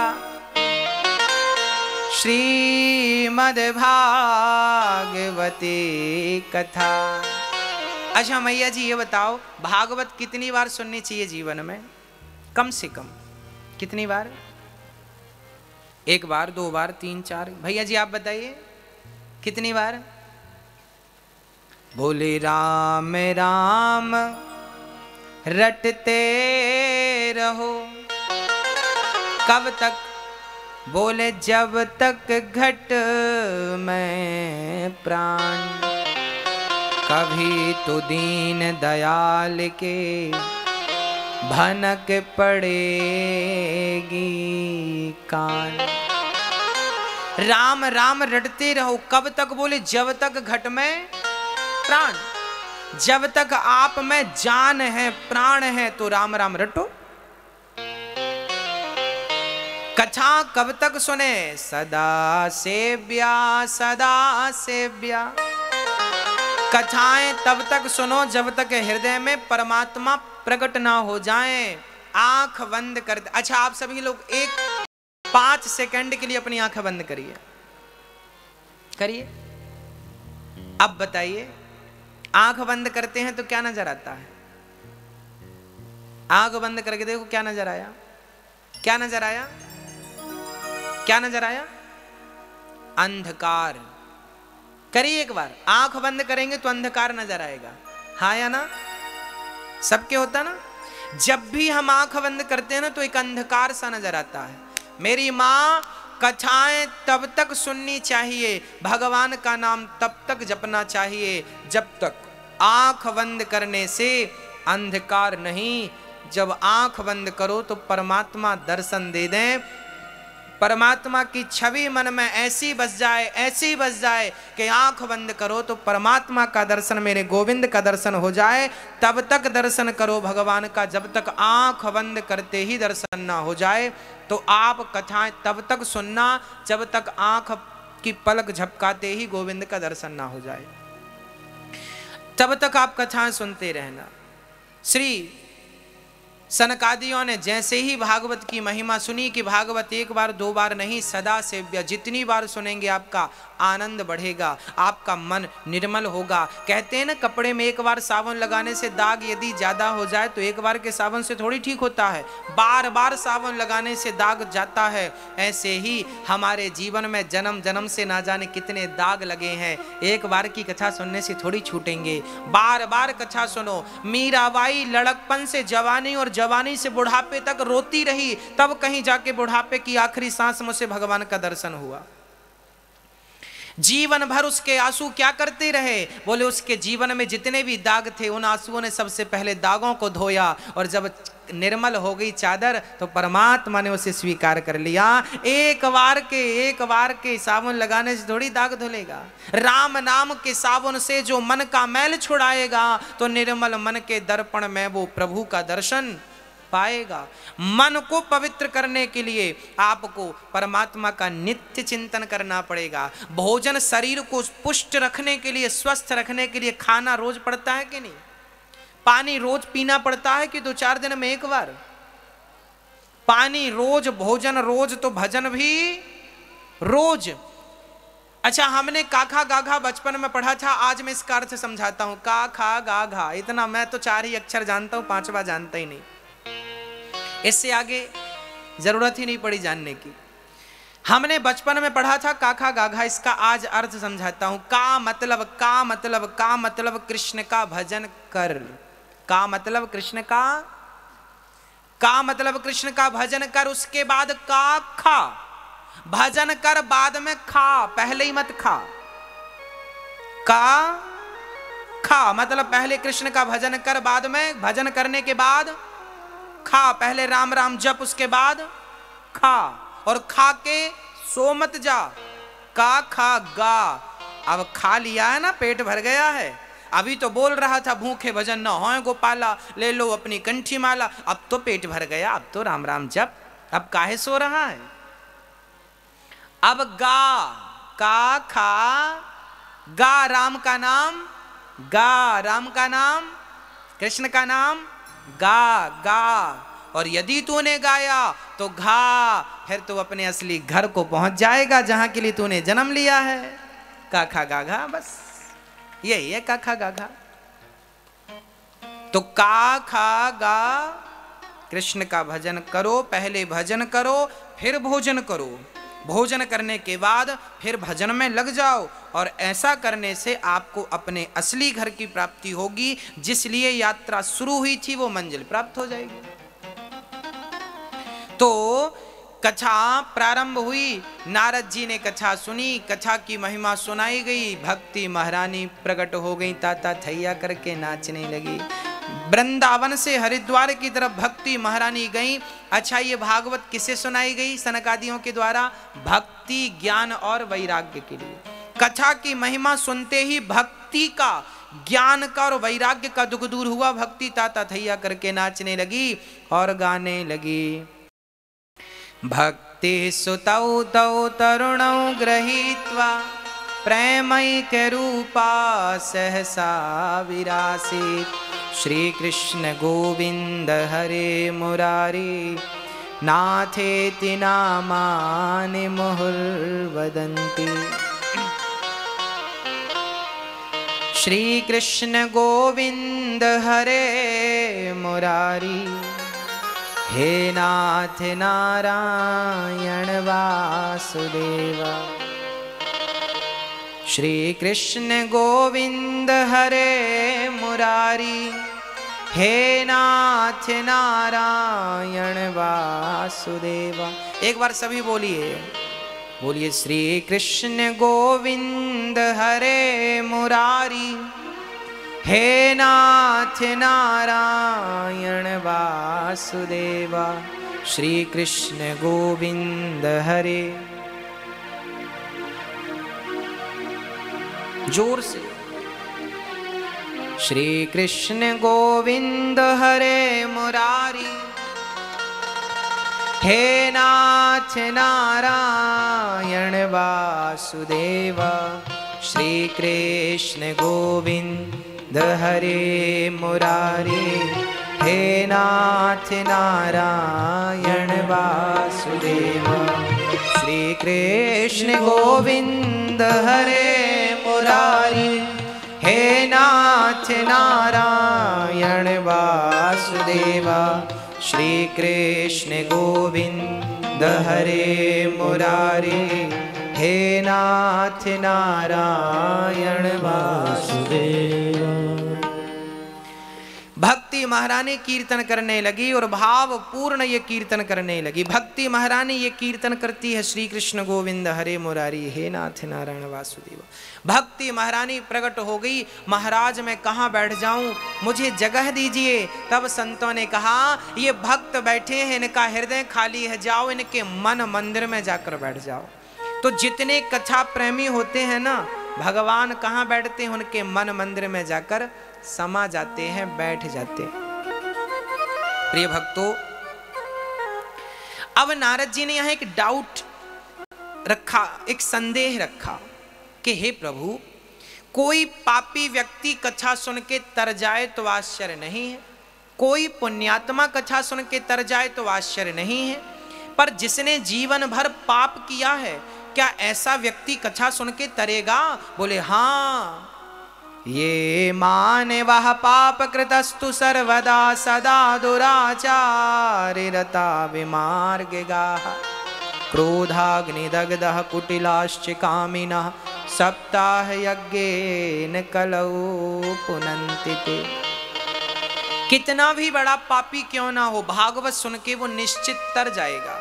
कोई तरह? हाँ एक पंडित जी थे, एक प्राचीन इतिहास सुनाता हूँ जो आपका इतिहास होगा, हमारा इतिहास होगा। जरा सुनिएगा प्रेम पूर्वक ध्यान से सुनिएगा। एक पंडित जी थे। पंडित जी का नाम था आत्मदेव। उनकी पत्नी का नाम था श्रीमती धुंधली देवी। पंडित जी के जीवन में सब कुछ था। मेरी माँ। धन था, पद था, प्रतिष्ठा थी। रहने को मकान था, खाने को बढ़िया रोटी थी और बढ़िया नाम भी था मतलब कोई कमी नहीं थी। आत्मदेव जी का जीवन सुख में बीत रहा था। आत्मदेव जी के जीवन में मात्र एक चीज़ की कमी थी। क्या? उनके कोई संतान नहीं थी। क्या नहीं थी मेरी माँ? संतान नहीं थी। आत्मदेव जी बहुत पूजा करते, यज्ञ करते, जब जो कहता, जो व्यक्ति सब करते। किस लिए करते? कि हमारे घर संतान हो जाए, पुत्र हो जाए। पर दुर्भाग्य देखिए कि जो नहीं होना होता है ना, वो नहीं ही होता। पुत्र नहीं हुआ, आत्मदेव जी, अब तो पुत्र की कामना ही आपने त्याग दी। कोई बात नहीं नहीं हुआ सो नहीं हुआ। छोड़ो बात। कामना त्याग दी पुत्र की। अच्छा आप तो फिर भी पुत्र की कामना छोड़ देते हैं। पर ये दुनिया वाले ना जीने नहीं देते। किसी के बेटा ना हो ना मेरी माँ तो लोग बड़े ताने मारते हैं, फलाने की तो बेटा नहीं है, बेटा नहीं है, बेटा नहीं है। बहू के बेटा ना हो तो सास इतने डंक मारती है ना, जीने नहीं देती। सास से बचे तो जिठानी डंक मारती है तो देवरानी डंक मारती है। तो पड़ोसी डंक मारते हैं, बहू नहीं है, बेटा नहीं है, बेटा बहू के तो पाँच साल हो गए, बेटा नहीं है, बेटा नहीं है। एक जगह तो ये सुनने को आया, एक सास बोल रही थी, फलाने की बहू के तो बेटा नहीं है अभागिन है वो। बेटा नहीं है। हमने कहा, उसके तो बेटा नहीं है। तेरे बेटा है, तेरी बहू के बेटा है तो तुमने कौन सा गढ़ जीत लिया? अच्छा आप ये मैं आपसे पूछ रहा हूँ, मुझे उन्हें गया पिंडदान तर्पण की चिंता नहीं करनी चाहिए। उनका पिंडदान स्वयं जगन्नाथ जी करते हैं, उनका श्राद्ध स्वयं जगन्नाथ जी करते हैं। क्योंकि जिनके कोई नहीं है, उनके जगन्नाथ है। हर अनाथ कोई ये नहीं कह सकता कि मैं अनाथ हूँ। कभी ये ना कहना कि मैं अनाथ हूँ, जिसके नाथ जगन्नाथ हो, वो अनाथ कैसे हो सकता है? हमारे नाथ तो हमारे नाथ तो ज़ोर से बोलिए, हमारे नाथ तो जगन्नाथ हैं इसलिए हम अनाथ नहीं हैं। जिनके बेटे हैं वो बेटे पिंडदान करें श्राद्ध करें। जिनके नहीं हैं वो चिंता ना करें जगन्नाथ जी करेंगे। हाँ बिल्कुल चिंता नहीं करना चाहिए। आप तो केवल सीताराम सीताराम जपो नारायण नारायण जपो आगे ना आ, आगे आप जानो आपका काम जाने। हम जानते नहीं।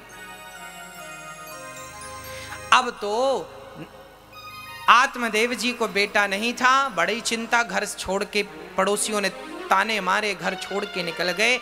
जंगल में एक संत जी ने कहा कथम रोदसी विप्रत्वम काते चिंता बलियसी। क्यों रो रहे हो ब्राह्मण देवता? क्या हुआ? तब कहा, महाराज, मैं बहुत दुखी हूँ, मेरे बेटा नहीं है। अच्छा मैं कितना भी समझा दूँ आपको, पर जो बेटों की मोह ममता होती है, वो जल्दी से छूटती नहीं। आत्मदेव जी के साथ भी यही हुआ। उनके भी मोह ना छूटा। संत जी से कहने लगे, हमें बेटा दे दो। संत जी ने कहा, बेटा तो नहीं, ये फल ले लो पत्नी को खिलाना बेटा होगा। आत्मदेव जी दौड़े दौड़े घर आए। पत्नी से कहा, लो देवी, संत ने फल दिया है, खाओ, बेटा होगा। आज धुंधली ने वो फल खाया नहीं, गाय को खिला दिया। गाय को खिलाया तो गाय गर्भवती हो गई। और उसकी बहन ने कहा, बेटा मेरा, मैं गर्भवती हूँ, तू ले लेना, कुछ पैसे दे देना। धुंधली की बहन के सात बेटे थे। ये आठवां था। उसके बहुत बेटे थे। धुंधली ने पैसे देके उसका बेटा ले लिया। जब उसके बेटा हुआ तो पूरा पैसा देकर बेटा ले लिया। डिंडोरा पीटा बेटा हो गया, बेटा हो गया। नाम रखा धुंधकारी। गाय को फल खिलाया तो गाय को भी एक बच्चा हुआ। नाम रखा गौकर्ण। कान गाय की तरह थे, शरीर दिव्य था तो नाम रखा गौकर्ण। एक का नाम गौकर्ण, एक का नाम धुंधकारी। अब दोनों बच्चे बड़े हुए। एक बच्चा तो बड़ा संस्कारी बना। गौकर्ण जी कथा सुनते, कीर्तन करते, यज्ञ जप तप करते, पर धुंधकारी माँ के लाड़ प्यार से बिगड़ता गया। इतना बिगड़ा इतना बिगड़ा।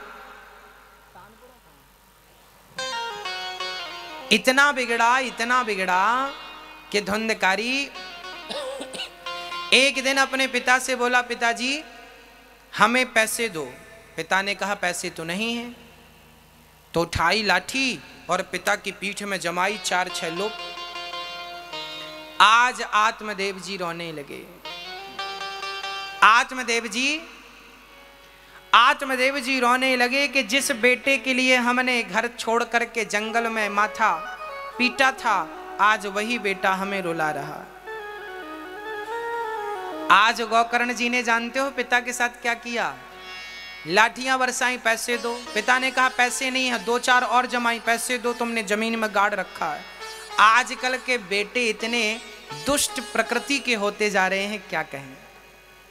एक मैया हमारे पास आई उन्होंने हमसे कहा कि गुरुजी हमारा बच्चा पाँच साल का था। सुनना यहाँ बैठे हर माँ बाप को ये बात बहुत ध्यान से सुननी चाहिए। एक मैया मेरे पास आई उन्होंने कहा गुरुजी हमारा बेटा जब पाँच साल का था तो उसने मोबाइल की जिद की। तो हम लोग पैसे वाले थे तो दिला दिया। ले, ले मोबाइल। अब बेटा मोबाइल लेके स्कूल जाता। पाँच साल का बच्चा स्कूल मोबाइल लेके जा रहा है।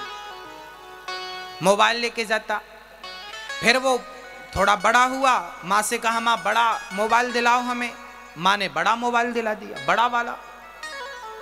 अब बड़ा मोबाइल पाया। अब वो पढ़ाई लिखाई तो करे ना दिन भर मोबाइल। और जब मोबाइल, अब फिर इसके बाद क्या हुआ, जब वो मोबाइल ज़्यादा खेलने लगा, मोबाइल ज़्यादा तो माँ ने मोबाइल छीना। और जब माँ ने मोबाइल छीना तो उस बेटे ने अपनी माँ के गाल पे एक थप्पड़ जमाया ज़ोर से। मोबाइल छीनती है। आपके बेटे को आपने पहले तो आदि बना दिया।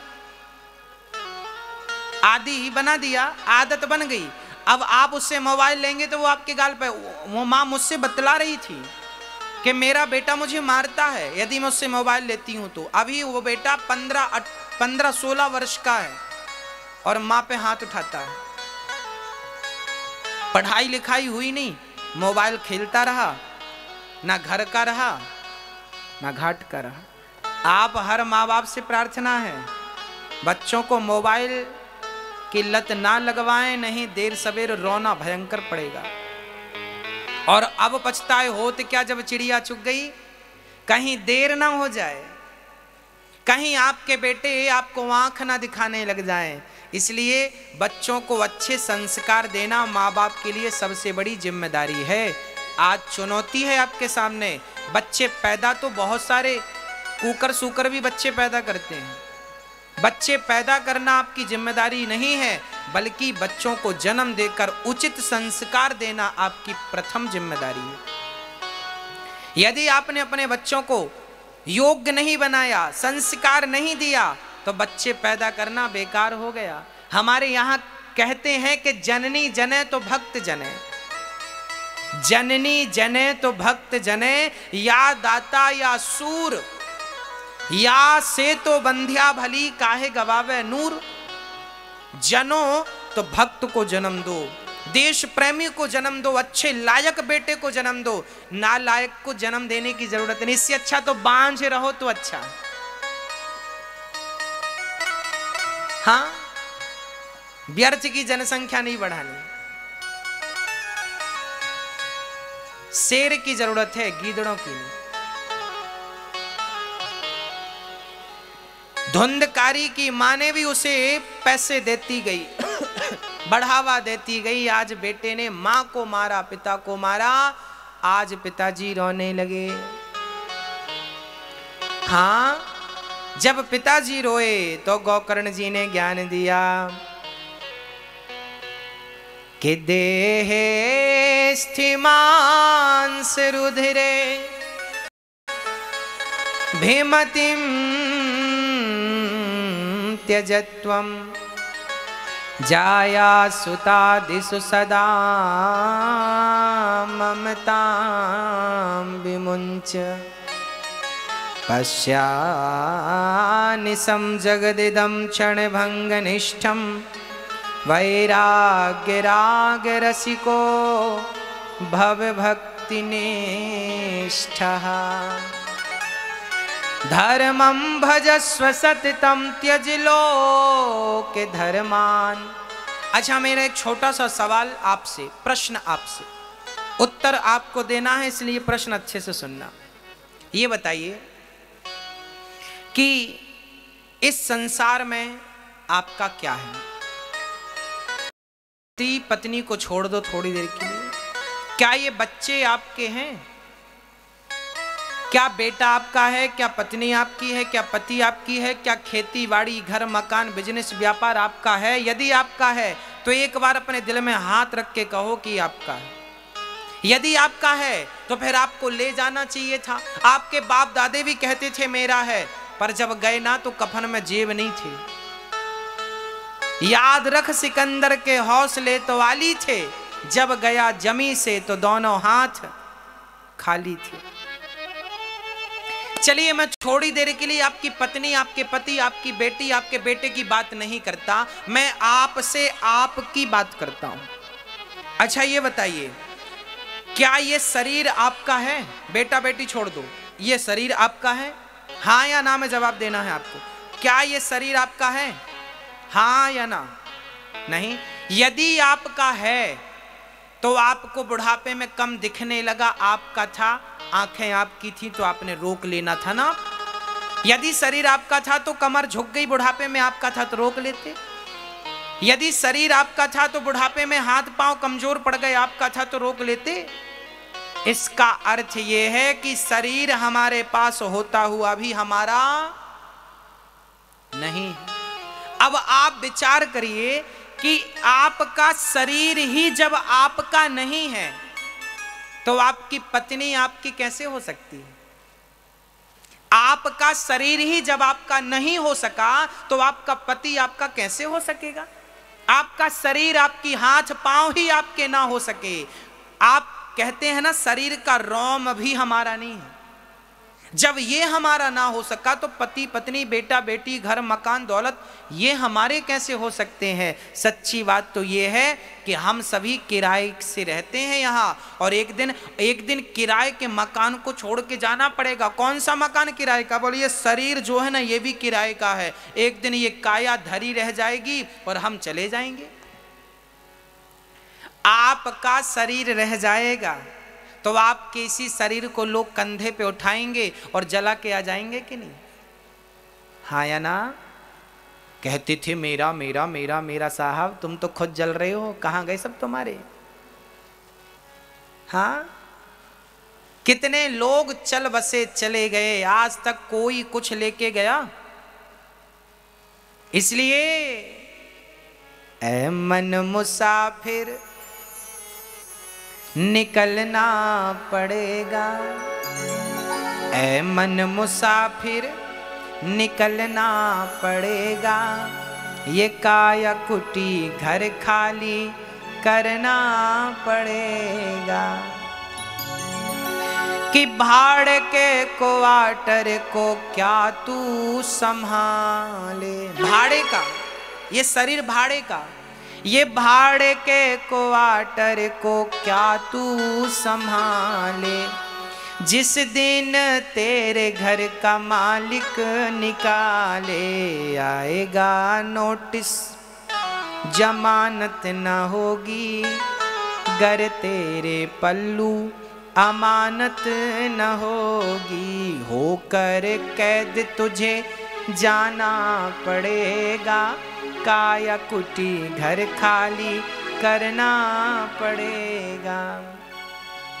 ये ज़िंदगी एक किराए का घर है। ये ज़िंदगी कैसी है? किराए का है ना?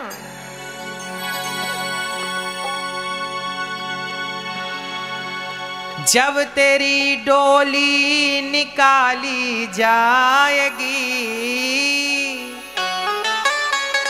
जब तेरी डोली निकाली जाएगी, बिन मुहूर्त के उठा ली जाएगी।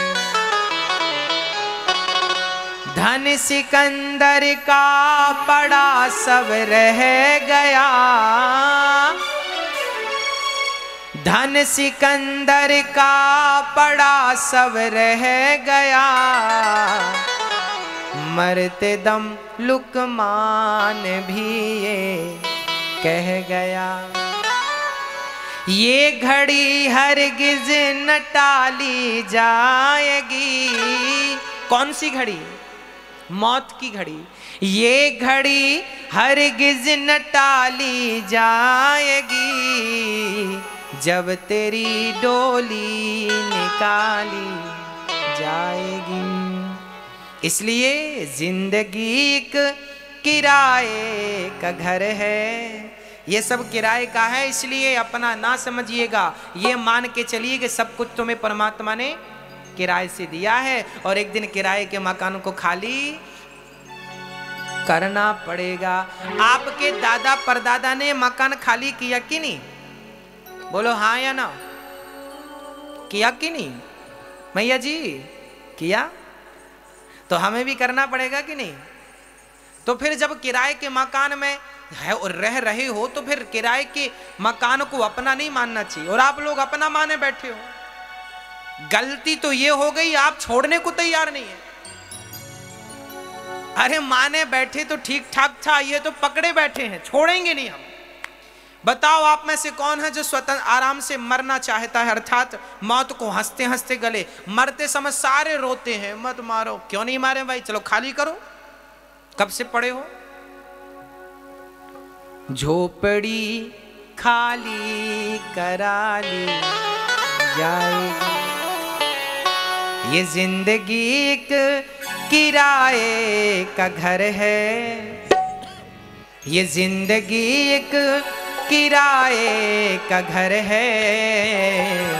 एक ना एक दिन बदलना पड़ेगा। दोनों हाथ उठाइए मस्ती के साथ और भाड़े के किराए को समझते।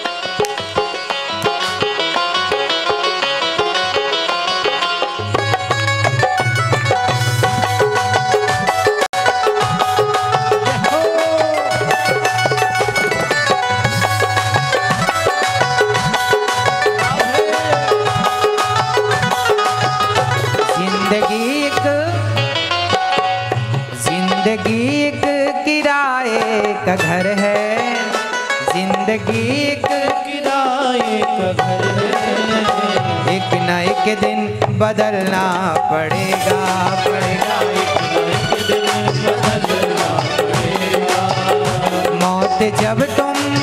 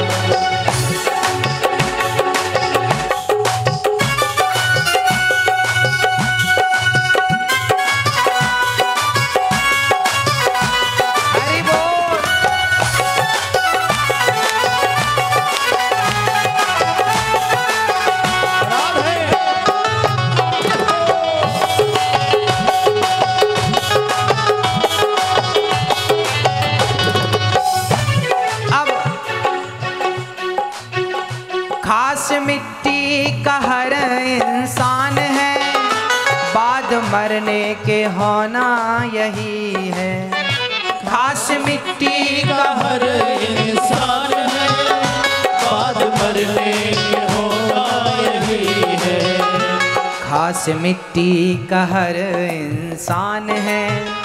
बाद मरने के होना यही है। खास मिट्टी का हर इंसान है। बाद मरने के होना यही है। खास मिट्टी का हर इंसान है। बाद मरने के होना यही है। खास मिट्टी का हर इंसान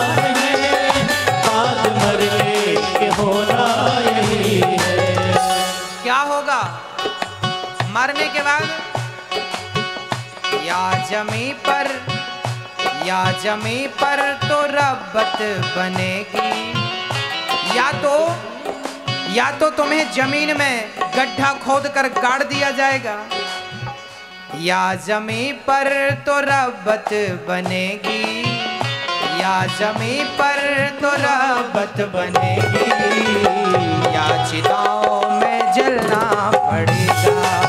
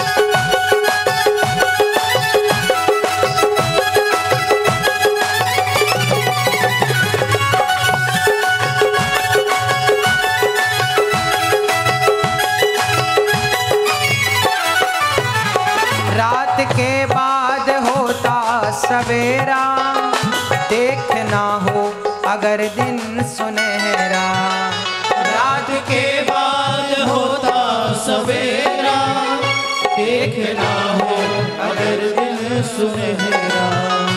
रात के बाद होता सवेरा। देखना हो अगर दिन सुनहरा। रात के बाद होता सवेरा। देखना है अगर दिन सुनहरा। आप सुनहरा दिन देखना चाहते हैं तो क्या करना पड़ेगा? पैर फूलों में रखने से पहले पैर फूलों में रखने से पहले, पैर फूलों में रखने से पहले, पैर फूलों में रखने से पहले तुमको काटो में चलना पड़ेगा पड़ेगा।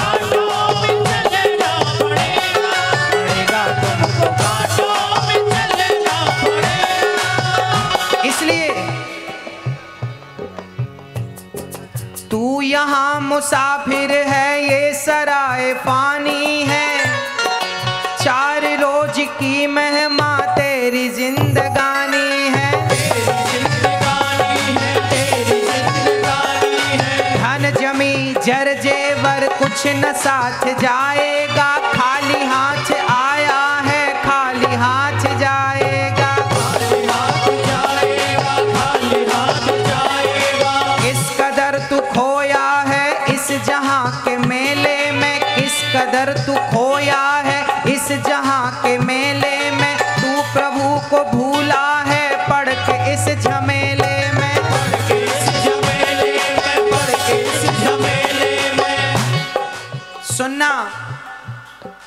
मौत सबको आनी है। कौन इससे छूटा है?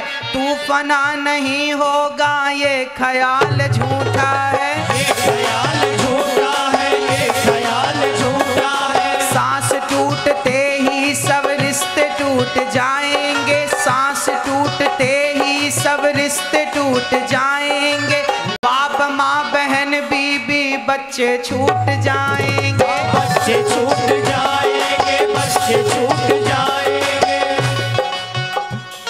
जवानी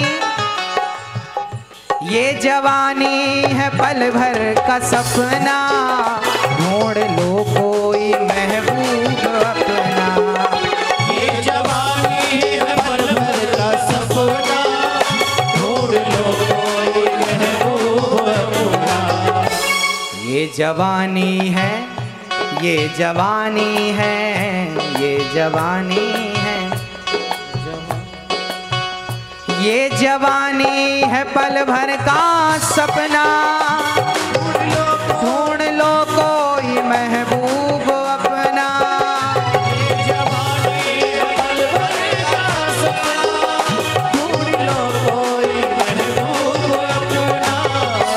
ये जवानी ये जवानी। जवानों, जरा जवानी संभालिएगा। ये जवानी अगर ढल गई तो ये जवानी अगर ढल गई तो उम्र भर हाथ मलना पड़ेगा पड़ेगा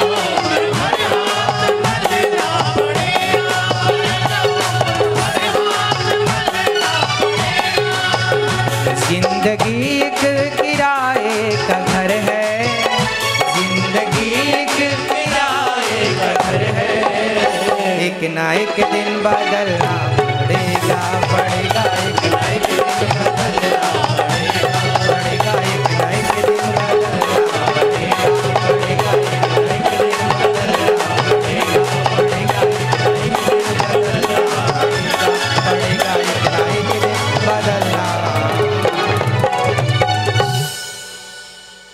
भक्त वत्सल भगवान की सांस टूटते ही सब रिश्ते टूट जाएँगे।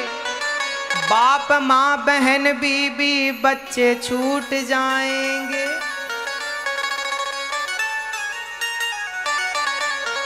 क्या कहें हम आपसे? आज तक ये देखा है, पाने वाला खोता है। ज़िंदगी को जो समझा, ज़िंदगी पे रोता है। तू यहाँ मुसाफिर है, ये सराय फानी है। चार रोज की मेहमा तेरी जिंदगानी है। ये जिंदगानी मेहमान है। हम सब मेहमान हैं, एक दिन सबको अपना अपना घर मेहमानी छोड़ के जानी पड़ेगी। कुछ तैयारी है आप लोगों की कि नहीं? कर लो। प्रिय भक्तों, धुंधकारी के पिता को मार लगाई पिता। आत्म कल्याण करते हैं। घर में अकेली माँ थी धुंधकारी ने अपनी माँ को मारा। माँ बेचारी कुएँ में कूद के मर गई। आज मैं आपको माओ का क्या दुख बताऊँ? आज मैं आपको माओ का क्या दर्द सुनाऊं? आज धुंधकारी ने अपनी माँ को मारा भक्तों। आज आप लोग भी देखते होंगे, समाज में ऐसे ही धुंधकारी बच्चे पैदा होते हैं जो अपने माँ को मारते हैं, माँ पर हाथ उठाते हैं, माँ को घर से निकाल देते हैं। हमें ना चाह करके भी ये काम करना पड़ा है भक्तों। आप बताइए, क्या हमारे भारत में वृद्धाश्रम होने चाहिए? नहीं ना? क्या हमारे भारत में वृद्धाश्रम की ज़रूरत है? बिल्कुल नहीं है। हमारे भारत में शिक्षित लोग रहते हैं, पढ़े लिखे लोग रहते हैं भारत का बेटा राम होता है जो माँ बाप की आज्ञा मानकर चौदह साल के लिए घर से निकल जाता है और माँ बाप से एक प्रश्न नहीं करता कि मेरे किस गलती की मुझे सजा मिल रही है। ऐसे भारत में, राम के भारत में क्या वृद्धाश्रम होने चाहिए ना? नहीं होने चाहिए। नहीं होने चाहिए। परंतु मैं आपसे एक छोटा सा सवाल पूछना चाहता हूँ। आज मैं आपके सामने बैठा हूँ। मेरे पास कितनी माएँ आती हैं, कितनी सारी वृद्ध माएँ आती हैं, और वो माएँ जानते हो क्या कहती हुई आती हैं? कोई माँ ये कहती है कि बेटा, मुझे मेरे बेटे ने घर से निकाल दिया। तो कोई माँ ये कहती है कि मेरे बेटे ने मुझे मेरे मुँह पे मिर्ची डाल दी। बड़ा अत्याचार किया। एक माँ तो कहते कहते रो पड़ी कि गुरुजी, मेरी बहू मुझे रोज थप्पड़ मारती है गाल पर यदि यदि मैं विरोध करती हूँ तो वो घर से निकाल देगी और घर से निकाल देगी तो मैं कहाँ जाऊँगी? बेटा भी नहीं सुनता और बहू तो सारे बर्तन मुझसे धुलाती है और वो आके दो चार जमाती रहती है पीछे से। पता नहीं लोगों की इंसानियत कहाँ चली गई, मुझे नहीं पता। पर मैं आपसे छोटा सा सवाल ये करना चाहता हूँ कि एक माँ मेरे पास आई, ये बात मैं कई बार कह चुका हूँ, मुझे बार बार दोहराना पड़ती है ये बात। एक माँ मेरे पास आई और उस माँ ने मेरे से कहा, एक माँ बाप दोनों थे जोड़े। बाप अंधा, आँखें चली गई थी। बूढ़ा आदमी था, आँख चली गई थी और उनकी पत्नी घर घर भोजन बनाने जाती थी। एक ही बेटा था और वो बेटा माँ बाप को छोड़कर शादी कर ली। खुश रहता है, वो अपने घर अलग रहता है। बाप अंधा है और उसकी माँ घर घर भोजन बनाती है।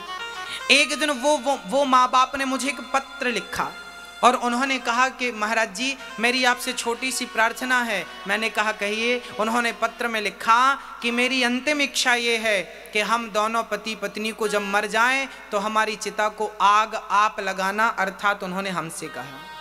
हमने उनसे प्रश्न किया, फिर वो मिलने आए। हमने उनसे पूछा कि आपने, हमसे ये क्यों कहा, आग लगाना आपका बेटा है, वो आग लगाएगा। तब उन्होंने कहा कि हमारा बेटा ज़िंदा अभी है। अभी हमको उसने ज़िंदा में जीते जी पानी नहीं पिलाया, भोजन नहीं कराया। तो जो बेटा हमें पानी नहीं पिलाता अभी, भोजन नहीं कराता अभी, बुढ़ापे में अभी तो हमें ज़रूरत है ना बेटे की? अभी जब वो हमारा सहारा नहीं बनता, उसकी माँ घर घर भोजन बनाती है, दो पैसे कमाती अभी हाथ पाँव चल रहे हैं तो कमा रही है। मैं भी अंधा हूँ, मेरी पत्नी मुझे खिलाती है, यदि उसके भी हाथ पाँव ना चले तो हम क्या खाएँगे? कहाँ जाएँगे? बेटे से तो आसरा नहीं है, बेटे से तो कोई सहारे की उम्मीद नहीं है, बेटे ने तो छोड़ दिया।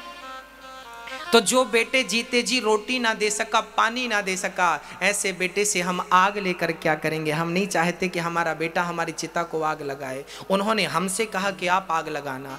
ऐसे माँ बाप हमसे कहते हैं, महाराज जी, हमारे लिए कोई आप रहने की और खाने की व्यवस्था करो। अब मैं आपसे पूछता हूँ, बताइए ऐसे माँ बाप के लिए हमें सहयोग करना चाहिए कि नहीं? ऐसे माँ बाप के लिए, हमें रहने के लिए और रोटी की व्यवस्था करनी चाहिए कि नहीं? तो ऐसे माँ बाप के कहने पर इस दास ने वृंदावन में एक वृद्धाश्रम बनाने का निर्णय लिया। वृद्धाश्रम नहीं होने चाहिए, पर माँ बाप की ऐसी मजबूरी के कारण हमें वृद्धाश्रम बनाने का निर्णय लेना पड़ा। और आप भक्तों, आपके सहयोग से वृंदावन में वृद्धाश्रम का कार्य बहुत तेज़ी से चल रहा है। बहुत जल्दी लगभग एक वर्ष के भीतर ही वहाँ बहुत सारी माताएँ रह करके वहाँ हमें और आपको आशीर्वाद देंगी। माओ को रहने की, खाने की वहाँ संपूर्ण व्यवस्थाएँ होती हैं और वहाँ रहेंगी सारी व्यवस्थाएँ। इन का, इस कार्य में आपका सहयोग, आप किसी एक माँ को गोद ले सकते हैं, एक माँ को जीवन भर भोजन दे सकते हैं, उनका बेटा बनकर। एक माँ को केवल इक्कीस हज़ार रुपए देकर आप किसी एक माँ को जीवन भर रोटी दे सकते हैं। कहते हैं ना, अन्न दान सबसे बड़ा दान होता है, इससे बड़ा कोई दान नहीं होता। आप अपनी माँ की सेवा तो करें, पर प्रार्थना यह है कि उन वृद्ध माओ की तरफ़ भी देखें। वहाँ एक दो माँ नहीं भक्तों, वहाँ हज़ारों की संख्या में माएँ रहेंगी और वहाँ सेवा होंगी। एक दो माँ नहीं, हज़ारों ऐसी सताई और ठुकराई बूढ़ी माएँ होंगी, जिनके अपने बच्चों ने, अपनी बहुओं ने घर से निकाल दिया। उनके अपने बच्चों ने सेवा नहीं की, कोई बात नहीं, पर हमें ईश्वर ने यदि बेटा बना के भेजा है तो मैं किसी एक माँ का बेटा नहीं, हज़ारों माओ का बेटा बनना चाहता हूँ। हज़ारों माओ की सेवा करने का संकल्प लेकर आगे बढ़ना चाहता हूँ। केवल आपके प्यार और आपके आशीर्वाद, आपके सहयोग से। आपको लगता है कि आपको भी किसी एक माँ का सहारा बनना चाहिए तो आप किसी एक माँ के लिए इक्कीस हज़ार देकर आप हमारे मेंबर भी बन जाएँगे और जीवन भर आपके सहयोग से वो माँ, एक माँ जीवन भर रोटी खाती रहेगी आपके सहयोग से।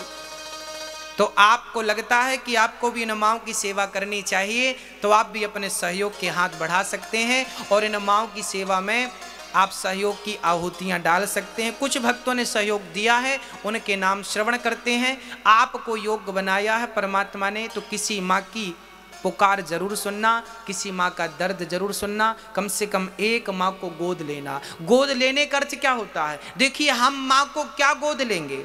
मैं गोद लेने का भी सही अर्थ आपको बतलाऊं, गोद क्या होता है? जब कोई माँ के बेटा नहीं होता तो वो माँ अनाथ आश्रम जाती है। अनाथ आश्रम जाती है, वहाँ से किसी बच्चे को गोद लेती है। गोद लेने का अर्थ ये होता है कि वहाँ पर एक एग्रीमेंट होता है।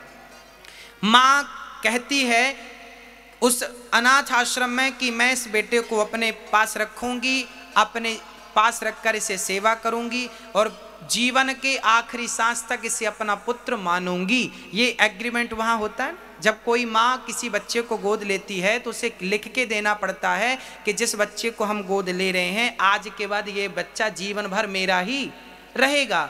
इसकी सेवा हमें करनी है, इसका ख्याल हमें रखना है। बस बस भक्तों, जैसे एक माँ बच्चे को जीवन भर सेवा करने के लिए गोद लेती है, ऐसे आप भी किसी एक माँ को जीवन भर भोजन देने के लिए एक माँ को आप भी गोद ले लीजिए। और किसी ए, वो जमाना था जब माएँ बच्चों को गोद लेती थी, अब जमाना बदल गया है। अब बच्चों ने माओ को घर से निकालना शुरू कर दिया है। अब समय आ गया है कि आप जैसे समझदार बच्चे किसी एक माँ को गोद लें और एक माँ की सेवा का सहयोग करें। कुछ भक्तों ने सेवाएँ पहुंचाई हैं, उनके नाम श्रवण करते हैं।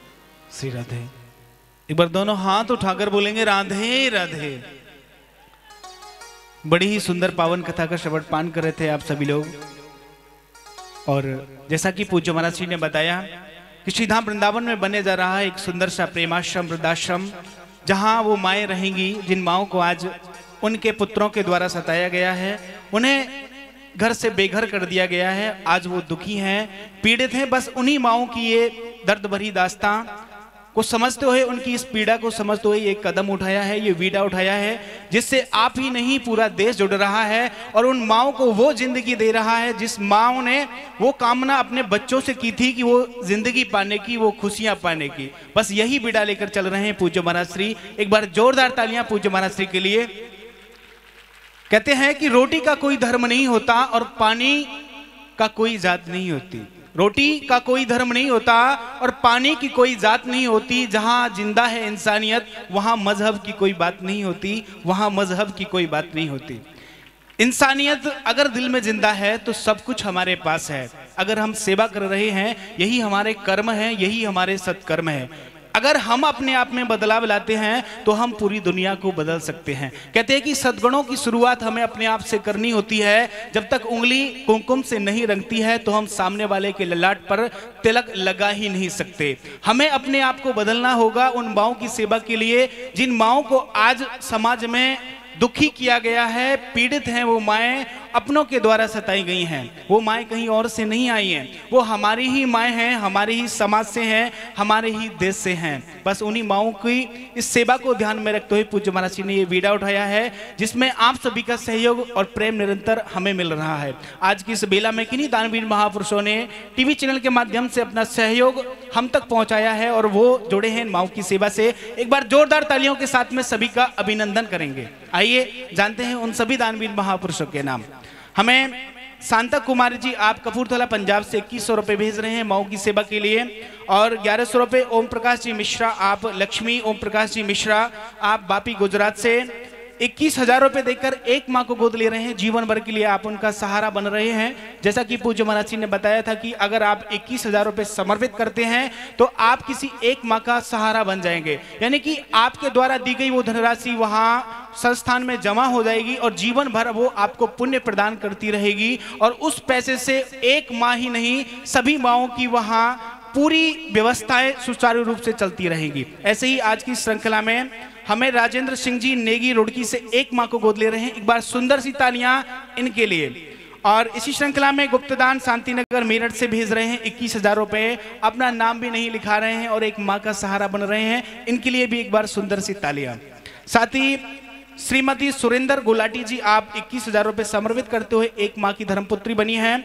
और इक्कीस सौ रुपए मंजू मिश्रा, आप बलिया आप किशनपुरा उत्तर प्रदेश से राजेंद्र प्रसाद यादव, आप दमनदीप से ग्यारह सौ रुपये महेश प्रसाद खरे, आप तिगोड़ा सागर से विशेष सहयोग प्रदान कर रहे हैं माओ की सेवा से आप भी जुड़ रहे हैं। साथ ही ग्यारह सौ रुपये किरोज नागपाल जी कुरुक्षेत्र, हरियाणा से, पुष्पा देवी जी पंजाब से विशेष सहयोग, एक हज़ार रुपये जंग बहादुर शर्मा आप बिहार से, ये धनराशि समर्पित कर रहे हैं और एक हज़ार रुपये महेंद्र मेहरा ग्यारह सौ रुपये राकेश प्रसाद पूना से पच्चीस सौ रुपये सुधीर नारंग आप पलवल हरियाणा से ये धनराशि समर्पित कर रहे हैं। साथ ही इसी श्रृंखला में मोहन लाल जी जबलपुर से विशेष सहयोग और ग्यारह सौ रुपये हरीश कुमार गुप्ता आप शिमला से। साथ ही श्री सीताराम जी पौधार आप मुजफ्फरपुर से अमित एंटरप्राइजेस से एक माह को गोद ले रहे हैं। आपने भी इक्कीस हज़ार रुपए की धनराशि विधवाओं के लिए समर्पित की है। इनके लिए भी एक बार सुंदर सी तालियाँ। साथ ही इसी श्रृंखला में एक हज़ार रुपए माला चौहान जी पाली राजस्थान से इक्कीस रुपए कामता प्रसाद जी मिश्रा, आप जज हैं। प्रयागराज इलाहाबाद से आप ये धनराशि समर्पित कर रहे हैं। ग्यारह सौ रुपए विनय कुमार सिंह जी, ग्यारह सौ रुपए राधेश्याम जी प्रजापति इंदौर से, और इक्यावन सौ रुपए मीरा देवी जी मुरादाबाद उत्तर प्रदेश से एक हज़ार रुपए अरुण कुमार यादव, आप अंबेडकर नगर से ये धनराशि समर्पित कर रहे हैं। मीना देवी जी, आप पूर्वी चंपारण, बिहार से एक हज़ार रुपए समर्पित कर रहे हैं। श्रीमान आर के वाजपेयी जी, आप लखनऊ से एक हज़ार रुपए प्रति महीना समर्पित करते हैं किसी एक माँ का सहारा बनने के लिए। जी हाँ ये धनराशि जो पूज्य महाराज ने बताई है कि आप इक्कीस हज़ार रुपए देकर एक माँ का सहारा बन जाएँगे। अगर ये धनराशि आप एक बार में समर्पित नहीं कर पाते हैं तो आप ये धनराशि प्रति माह के हिसाब से भी समर्पित करते हुए आप एक माँ का सहारा बन सकते हैं और धर्मपुत्र बन सकते हैं। इसी श्रृंखला में ग्यारह सौ रुपये, गीता गुप्ता, आप उत्तम नगर दिल्ली से और सरिता कुमार जी, आप बिहार से विशेष सहयोग प्रदान कर रहे हैं। विष्णु जी, केशव निगम, आप अनवारगंज से ग्यारह सौ रुपये ब्रदमाओं की सेवा के लिए समर्पित कर रहे हैं। आप भी इन ब्रदमाओं की सेवा से जुड़ रहे हैं। इसी श्रृंखला में राजू वर्मन जी, झांसी से विशेष सहयोग, इक्यावन सौ रुपए सुशीला देवी जी, लखनऊ, उत्तर प्रदेश से ग्यारह सौ रुपये, राजरानी मित्तल पटना से, और इक्कीस सौ रुपए जोहर सिंह जी, उर्मिला सिंह जी, आप पुत्र कपूर सिंह जी, आप सहारनपुर, उत्तर प्रदेश से। पाँच हज़ार रुपये शारदा देवी जी, समस्तीपुर, बिहार से, इक्यावन सौ रुपये राजेंद्र प्रसाद जी, आप चुरू राजस्थान से ये धनराशि समर्पित कर रहे हैं विधवाओं की सेवा के लिए। साथ ही कृष्णा जी उत्तम नगर से ग्यारह सौ रुपए, ग्यारह सौ रुपये वेबी कुमारी श्री सरेश देवी गाजियाबाद से ये धनराशि समर्पित कर रहे हैं। और जो भक्तगण प्रांगण में खड़े हैं, उनसे मेरा निवेदन है, अभी आप लोग जाए नहीं। बस थोड़े समय की बात और है, थोड़ा समय शेष रह गया अभी कथा पूर्ण होने में। तो आप लोग बैठ जाएँ। अभी आरती होने तक आप लोग प्रांगण से बाहर नहीं जाएँ, सभी लोग बैठे रहें, व्यवस्था बनाते रहें। साथ ही इसी श्रृंखला में और भी दानवीर महापुरुषों ने अपने सहयोग को आगे बढ़ाया है। सभी के लिए बहुत बहुत धन्यवाद। आइए चलते हैं वापस पुण्य कथा में। एक बार पुण्य दोनों हाथ उठाकर बोलेंगे, राधे राधे। आइए सभी लोग चलते हैं कथा की ओर। राधे बैठ जाइए। अभी राधा कृष्ण आने वाले हैं, उनका दर्शन आप करके जाइएगा। बस थोड़ी ही देर में, दस मिनट में आपको राधा कृष्ण के दर्शन होंगे। पाँच ही मिनट लगेगा। सभी लोग भगवान कृष्ण का दर्शन करके जाएँ।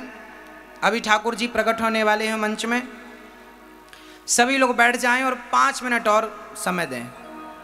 सभी लोग बैठ जाएँ, भगवान का दर्शन करके ही जाएँ। कथा पूरी सुन के जाएँ, बस थोड़ी ही देर में आरती करेंगे। सारे लोग बैठ जाएँ, केवल दस मिनट और दें आप लोग, बस।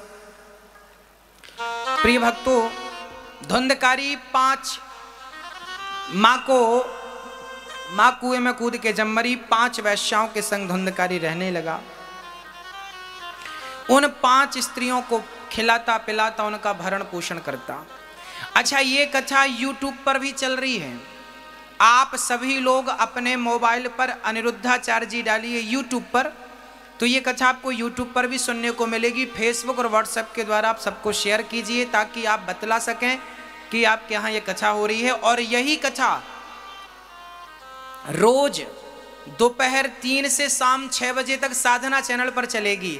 आप सभी लोग अपने रिश्तेदारों को, सभी लोग अपने परिवार के सभी सदस्यों को निवेदन करें कि जो यहाँ आ सकते हैं, वो तो यहाँ आए, यहाँ के टाइम पर। और बाकी घर पर तीन से छः बजे तक रोज साधना चैनल पर ये कथा देख सकते हैं, सभी लोग देख सकते हैं, पूरा देश देख सकता है।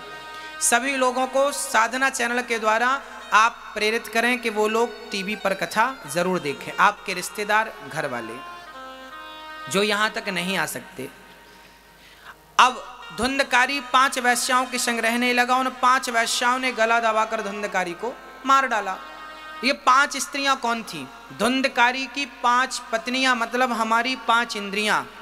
हमारा शब्द, स्पर्श, रूप, रस और गंध। आँख की इच्छा है देखने की, कान की इच्छा है सुनने की। चमड़ी की इच्छा है स्पर्श करने की, नाक की इच्छा है सूंघने की। और रसना जेहवा की इच्छा है स्वाद लेने की। हम पूरी ज़िंदगी अपनी इन इच्छाओं को पूरी करते करते करते करते ज़िंदगी को पूरा कर देते हैं। पलट कर देखते हैं तो शरीर पूरा हो गया, ज़िंदगी पूरी हो गई, परीक्षाएँ अभी तक पूरी नहीं हुई। धुंधकारी इन पाँच की इच्छाएँ पूरी करते करते मर गया। अंत में प्रेत बना जब प्रेत बन के भटकने लगा, तब गौकर्ण जी महाराज ने धुंधकारी को यही भागवत की कथा सुनाई जो आज आप सुन रहे हैं। और भागवत की कथा जब सुनी, सात दिन में एक बाँस की ग्रंथि पर धुंधकारी आकर बैठा। पहले दिन की कथा से बाँस की पहली ग्रंथि खुली, द्वितीय दिवस की कथा से दूसरी, तीसरे दिन की कथा से तीसरी, और सात दिन की कथा से सातों गांठ खुल गई। एक दिव्य पुरुष निकला विमान पर बैठा और भगवान के निज धाम को चला गया। ये भागवत की महिमा थी। भागवत सुनने से धुंधकारी जैसा महान पापी भी तर गया। ये भागवत तारने वाली है। केवल सो केवल तारती है। धुंधकारी जैसा पतित जब तरा तो दूसरी बार गौकर्ण जी ने भागवत सुनाई। अब की बार तो इतने पशु पक्षी जिन जिन के कानों में शब्द कथा का गया, सबके लिए विमान आया। सब विमान पर बैठ बैठ के भगवान के निज धाम को गए। श्रोताओं के निरूपण किए। श्रोता तीन प्रकार के श्रोता, सरौता सोता। जो कथा सुने वो श्रोता। जो सो जाए, वो सोता, जो बात करे, वो सरौता। उच्च कोटि के श्रोता होते हैं जो केवल सार सार ग्रहण करते हैं। जैसे हंस दूध पानी में दूध दूध पीता है, पानी पानी छोड़ता है। ऐसे अच्छे श्रोता वही हैं जो सार सार ग्रहण कर लें या सार को छोड़ दें। वक्ता कैसा हो? विरक्तो, वैष्णवो, विप्रो, वेद शास्त्र विशुद्धिकृत, दृष्टांत कुशलो धीरो वक्ता कार्योति निष्प्रहा हाँ वक्ता विरक्त हो, भगवान का भक्त हो हमारी मैया जी के लिए एक बार सुंदर तालियाँ बजाएँ श्रीमती गीता उपाध्याय जी के लिए। मात्र शक्ति एक स्त्री होकर इतना बड़ा आयोजन माने किया। पूरे देश के लोगों को कछा की गंगा में आपने डुबाने का कार्य किया है। कहते हैं पुरुष एक कुल को तारता है, नारी दोनों कुलों को तार देती है, ये इसका सबूत है। नारी दोनों कुलों को तारती है। एक बार गीता मैया के लिए पुनः तालियाँ। भगवान इनके परिवार को, इनके स्वर्गीय पति को भगवान शांति दें और आप सभी ग्रामवासी नित्य कथा पे आइए। आपके यहाँ कथा का जो टाइम है, अपने टाइम से आइए। कथा आप समय का ध्यान रखिए कल से। समय से आइए और समय से ही कथा से जाइए। अब चलते हैं प्रेम से बिहारी जी का दर्शन करते हैं और पुनः आरती उतारेंगे। और सभी माओं से प्रार्थना है, यदि आपने सोना चांदी पहन रखा है तो कृपया कल से सोना चांदी ना पहन के आए। मोबाइल पर्स पैसों का ख्याल रखें, भीड़ होती है, कोई निकाल के ले जाए, कोई गिर जाए तो उसके जिम्मेदार आप खुद होंगे। कृपया सोना चांदी ना पहन के आए माताएँ, और आप लोग अपने मोबाइल पर्स इत्यादि को संभालें। इसी सूचना के साथ अब चलते हैं, भगवान के पावन दर्शन की ओर। धुंधकारी का उद्धार हुआ। नारद जी महाराज से संतों ने कहा कि देखो, ये भागवत की महिमा है। प्रहलाद जी वीणा लेके नाचने लगे। प्रहलाद जी प्रकट हो गए और संतों में जो मृदंग बजने लगी, झूम झूम के नाच नाच कर बिहारी जी, राधा रानी के संग वहाँ दर्शन देने लगे। बोलिए वाक्य बिहारी लाल की। कृष्ण कन्हैया लाल की। जय। जय जय श्री राधे ओ मोटे मोटे नैनन के तू। जय हो। हाय मीठे मीठे बैनन के तू। सावरी सलोनी सूरत के तू। हरि बोल। हाय प्यारी प्यारी मूरत के तू।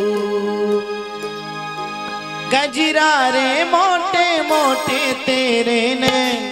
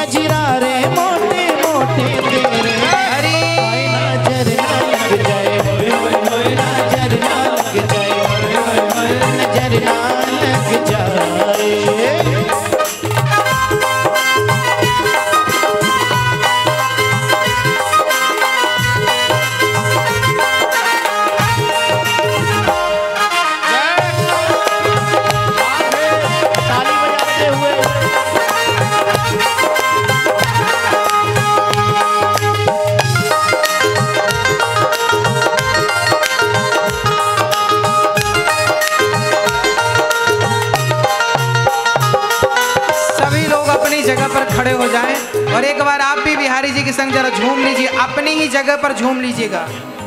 आँखों का काजल, मेरा है प्यार में पागल प्यार में पागल।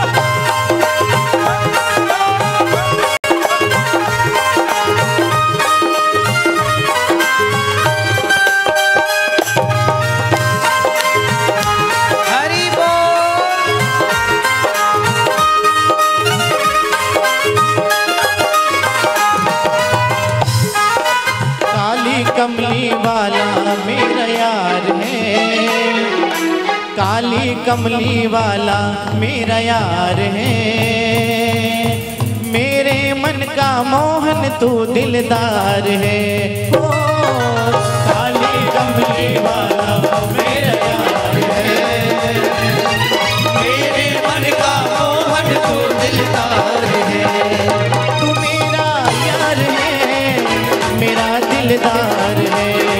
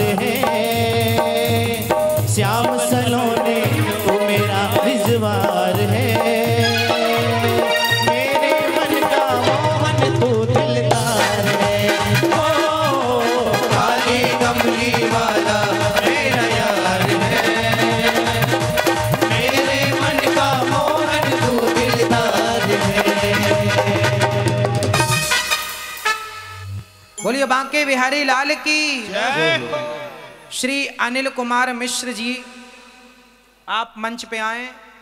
श्री अनिल कुमार मिश्र जी,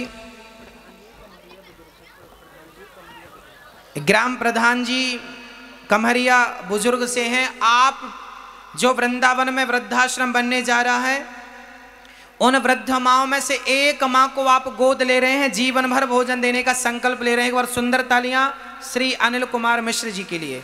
आप एक माँ का सहारा बन रहे हैं। और किसी एक माँ को जीवन भर भोजन दे रहे हैं, आप किसी माँ का दुख दूर कर रहे हैं, भगवान आपका दुख दूर करें। आपके जीवन में कोई कष्ट ना हो, कोई पीड़ा ना हो, भगवान की कृपा बनी रहे। अब सभी लोग, आप सभी लोग एक बार झूमते हुए पुनः आरती की ओर चलेंगे। कंजूसी ना करें। हाँ? मैया जी, आप भी एक बार झूम लीजिए, फिर आरती उतारेंगे। सभी लोग अपनी ही जगह पर खड़े रहेंगे व्यवस्थाओं को भंग ना करेंगे। पीछे रहे आगे कोई नहीं आए। अपने जगह से ही आनंद लेंगे पीछे बने रहे। एक बार झूमते हैं फिर आरती करते हैं। दीवाना बना दिया हमें मस्ताना बना दिया। हो गिरधारी जरा दोनों हाथ सीधे करके मस्ती में झूमते हुए। गिरधारी बनवारी, गिरधारी तेरी यारी ने दीवाना बना दिया।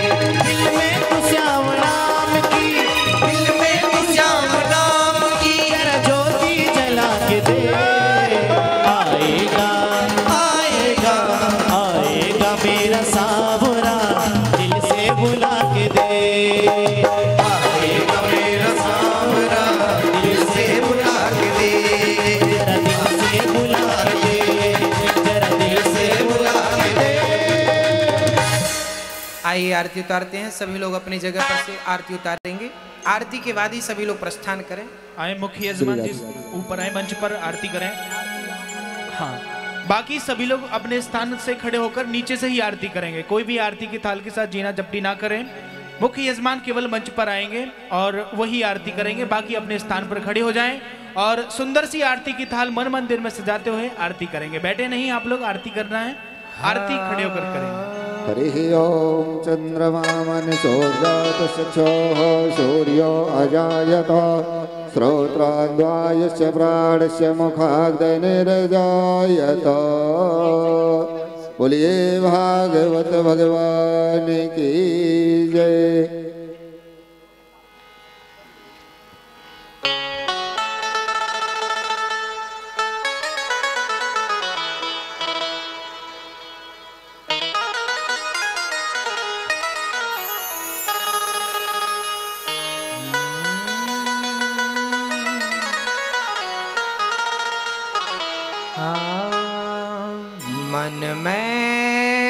बसा कर बसा कर। तेरी मूर्ति। मूर्ति। उतारूं मैं गिरधर। मैं गिरधर। तेरी आरती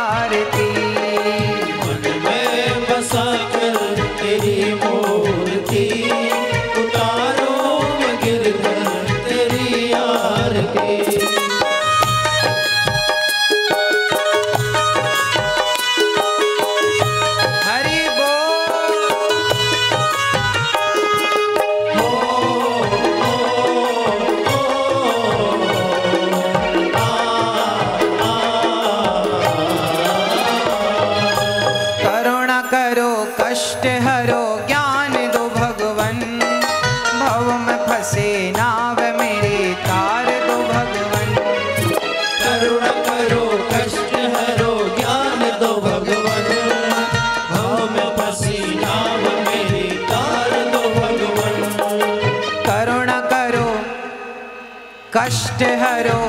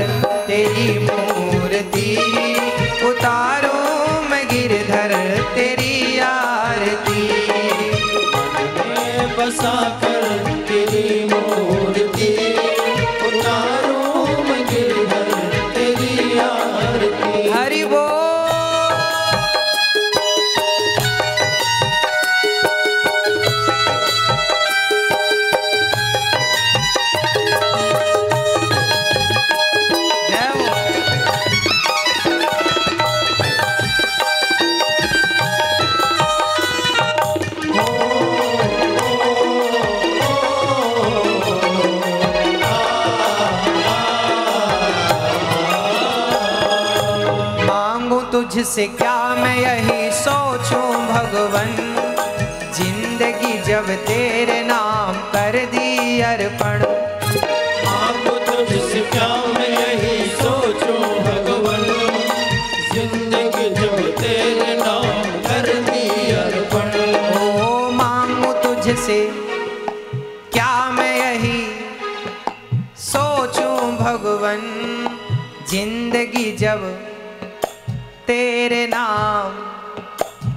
हरदी अर्पण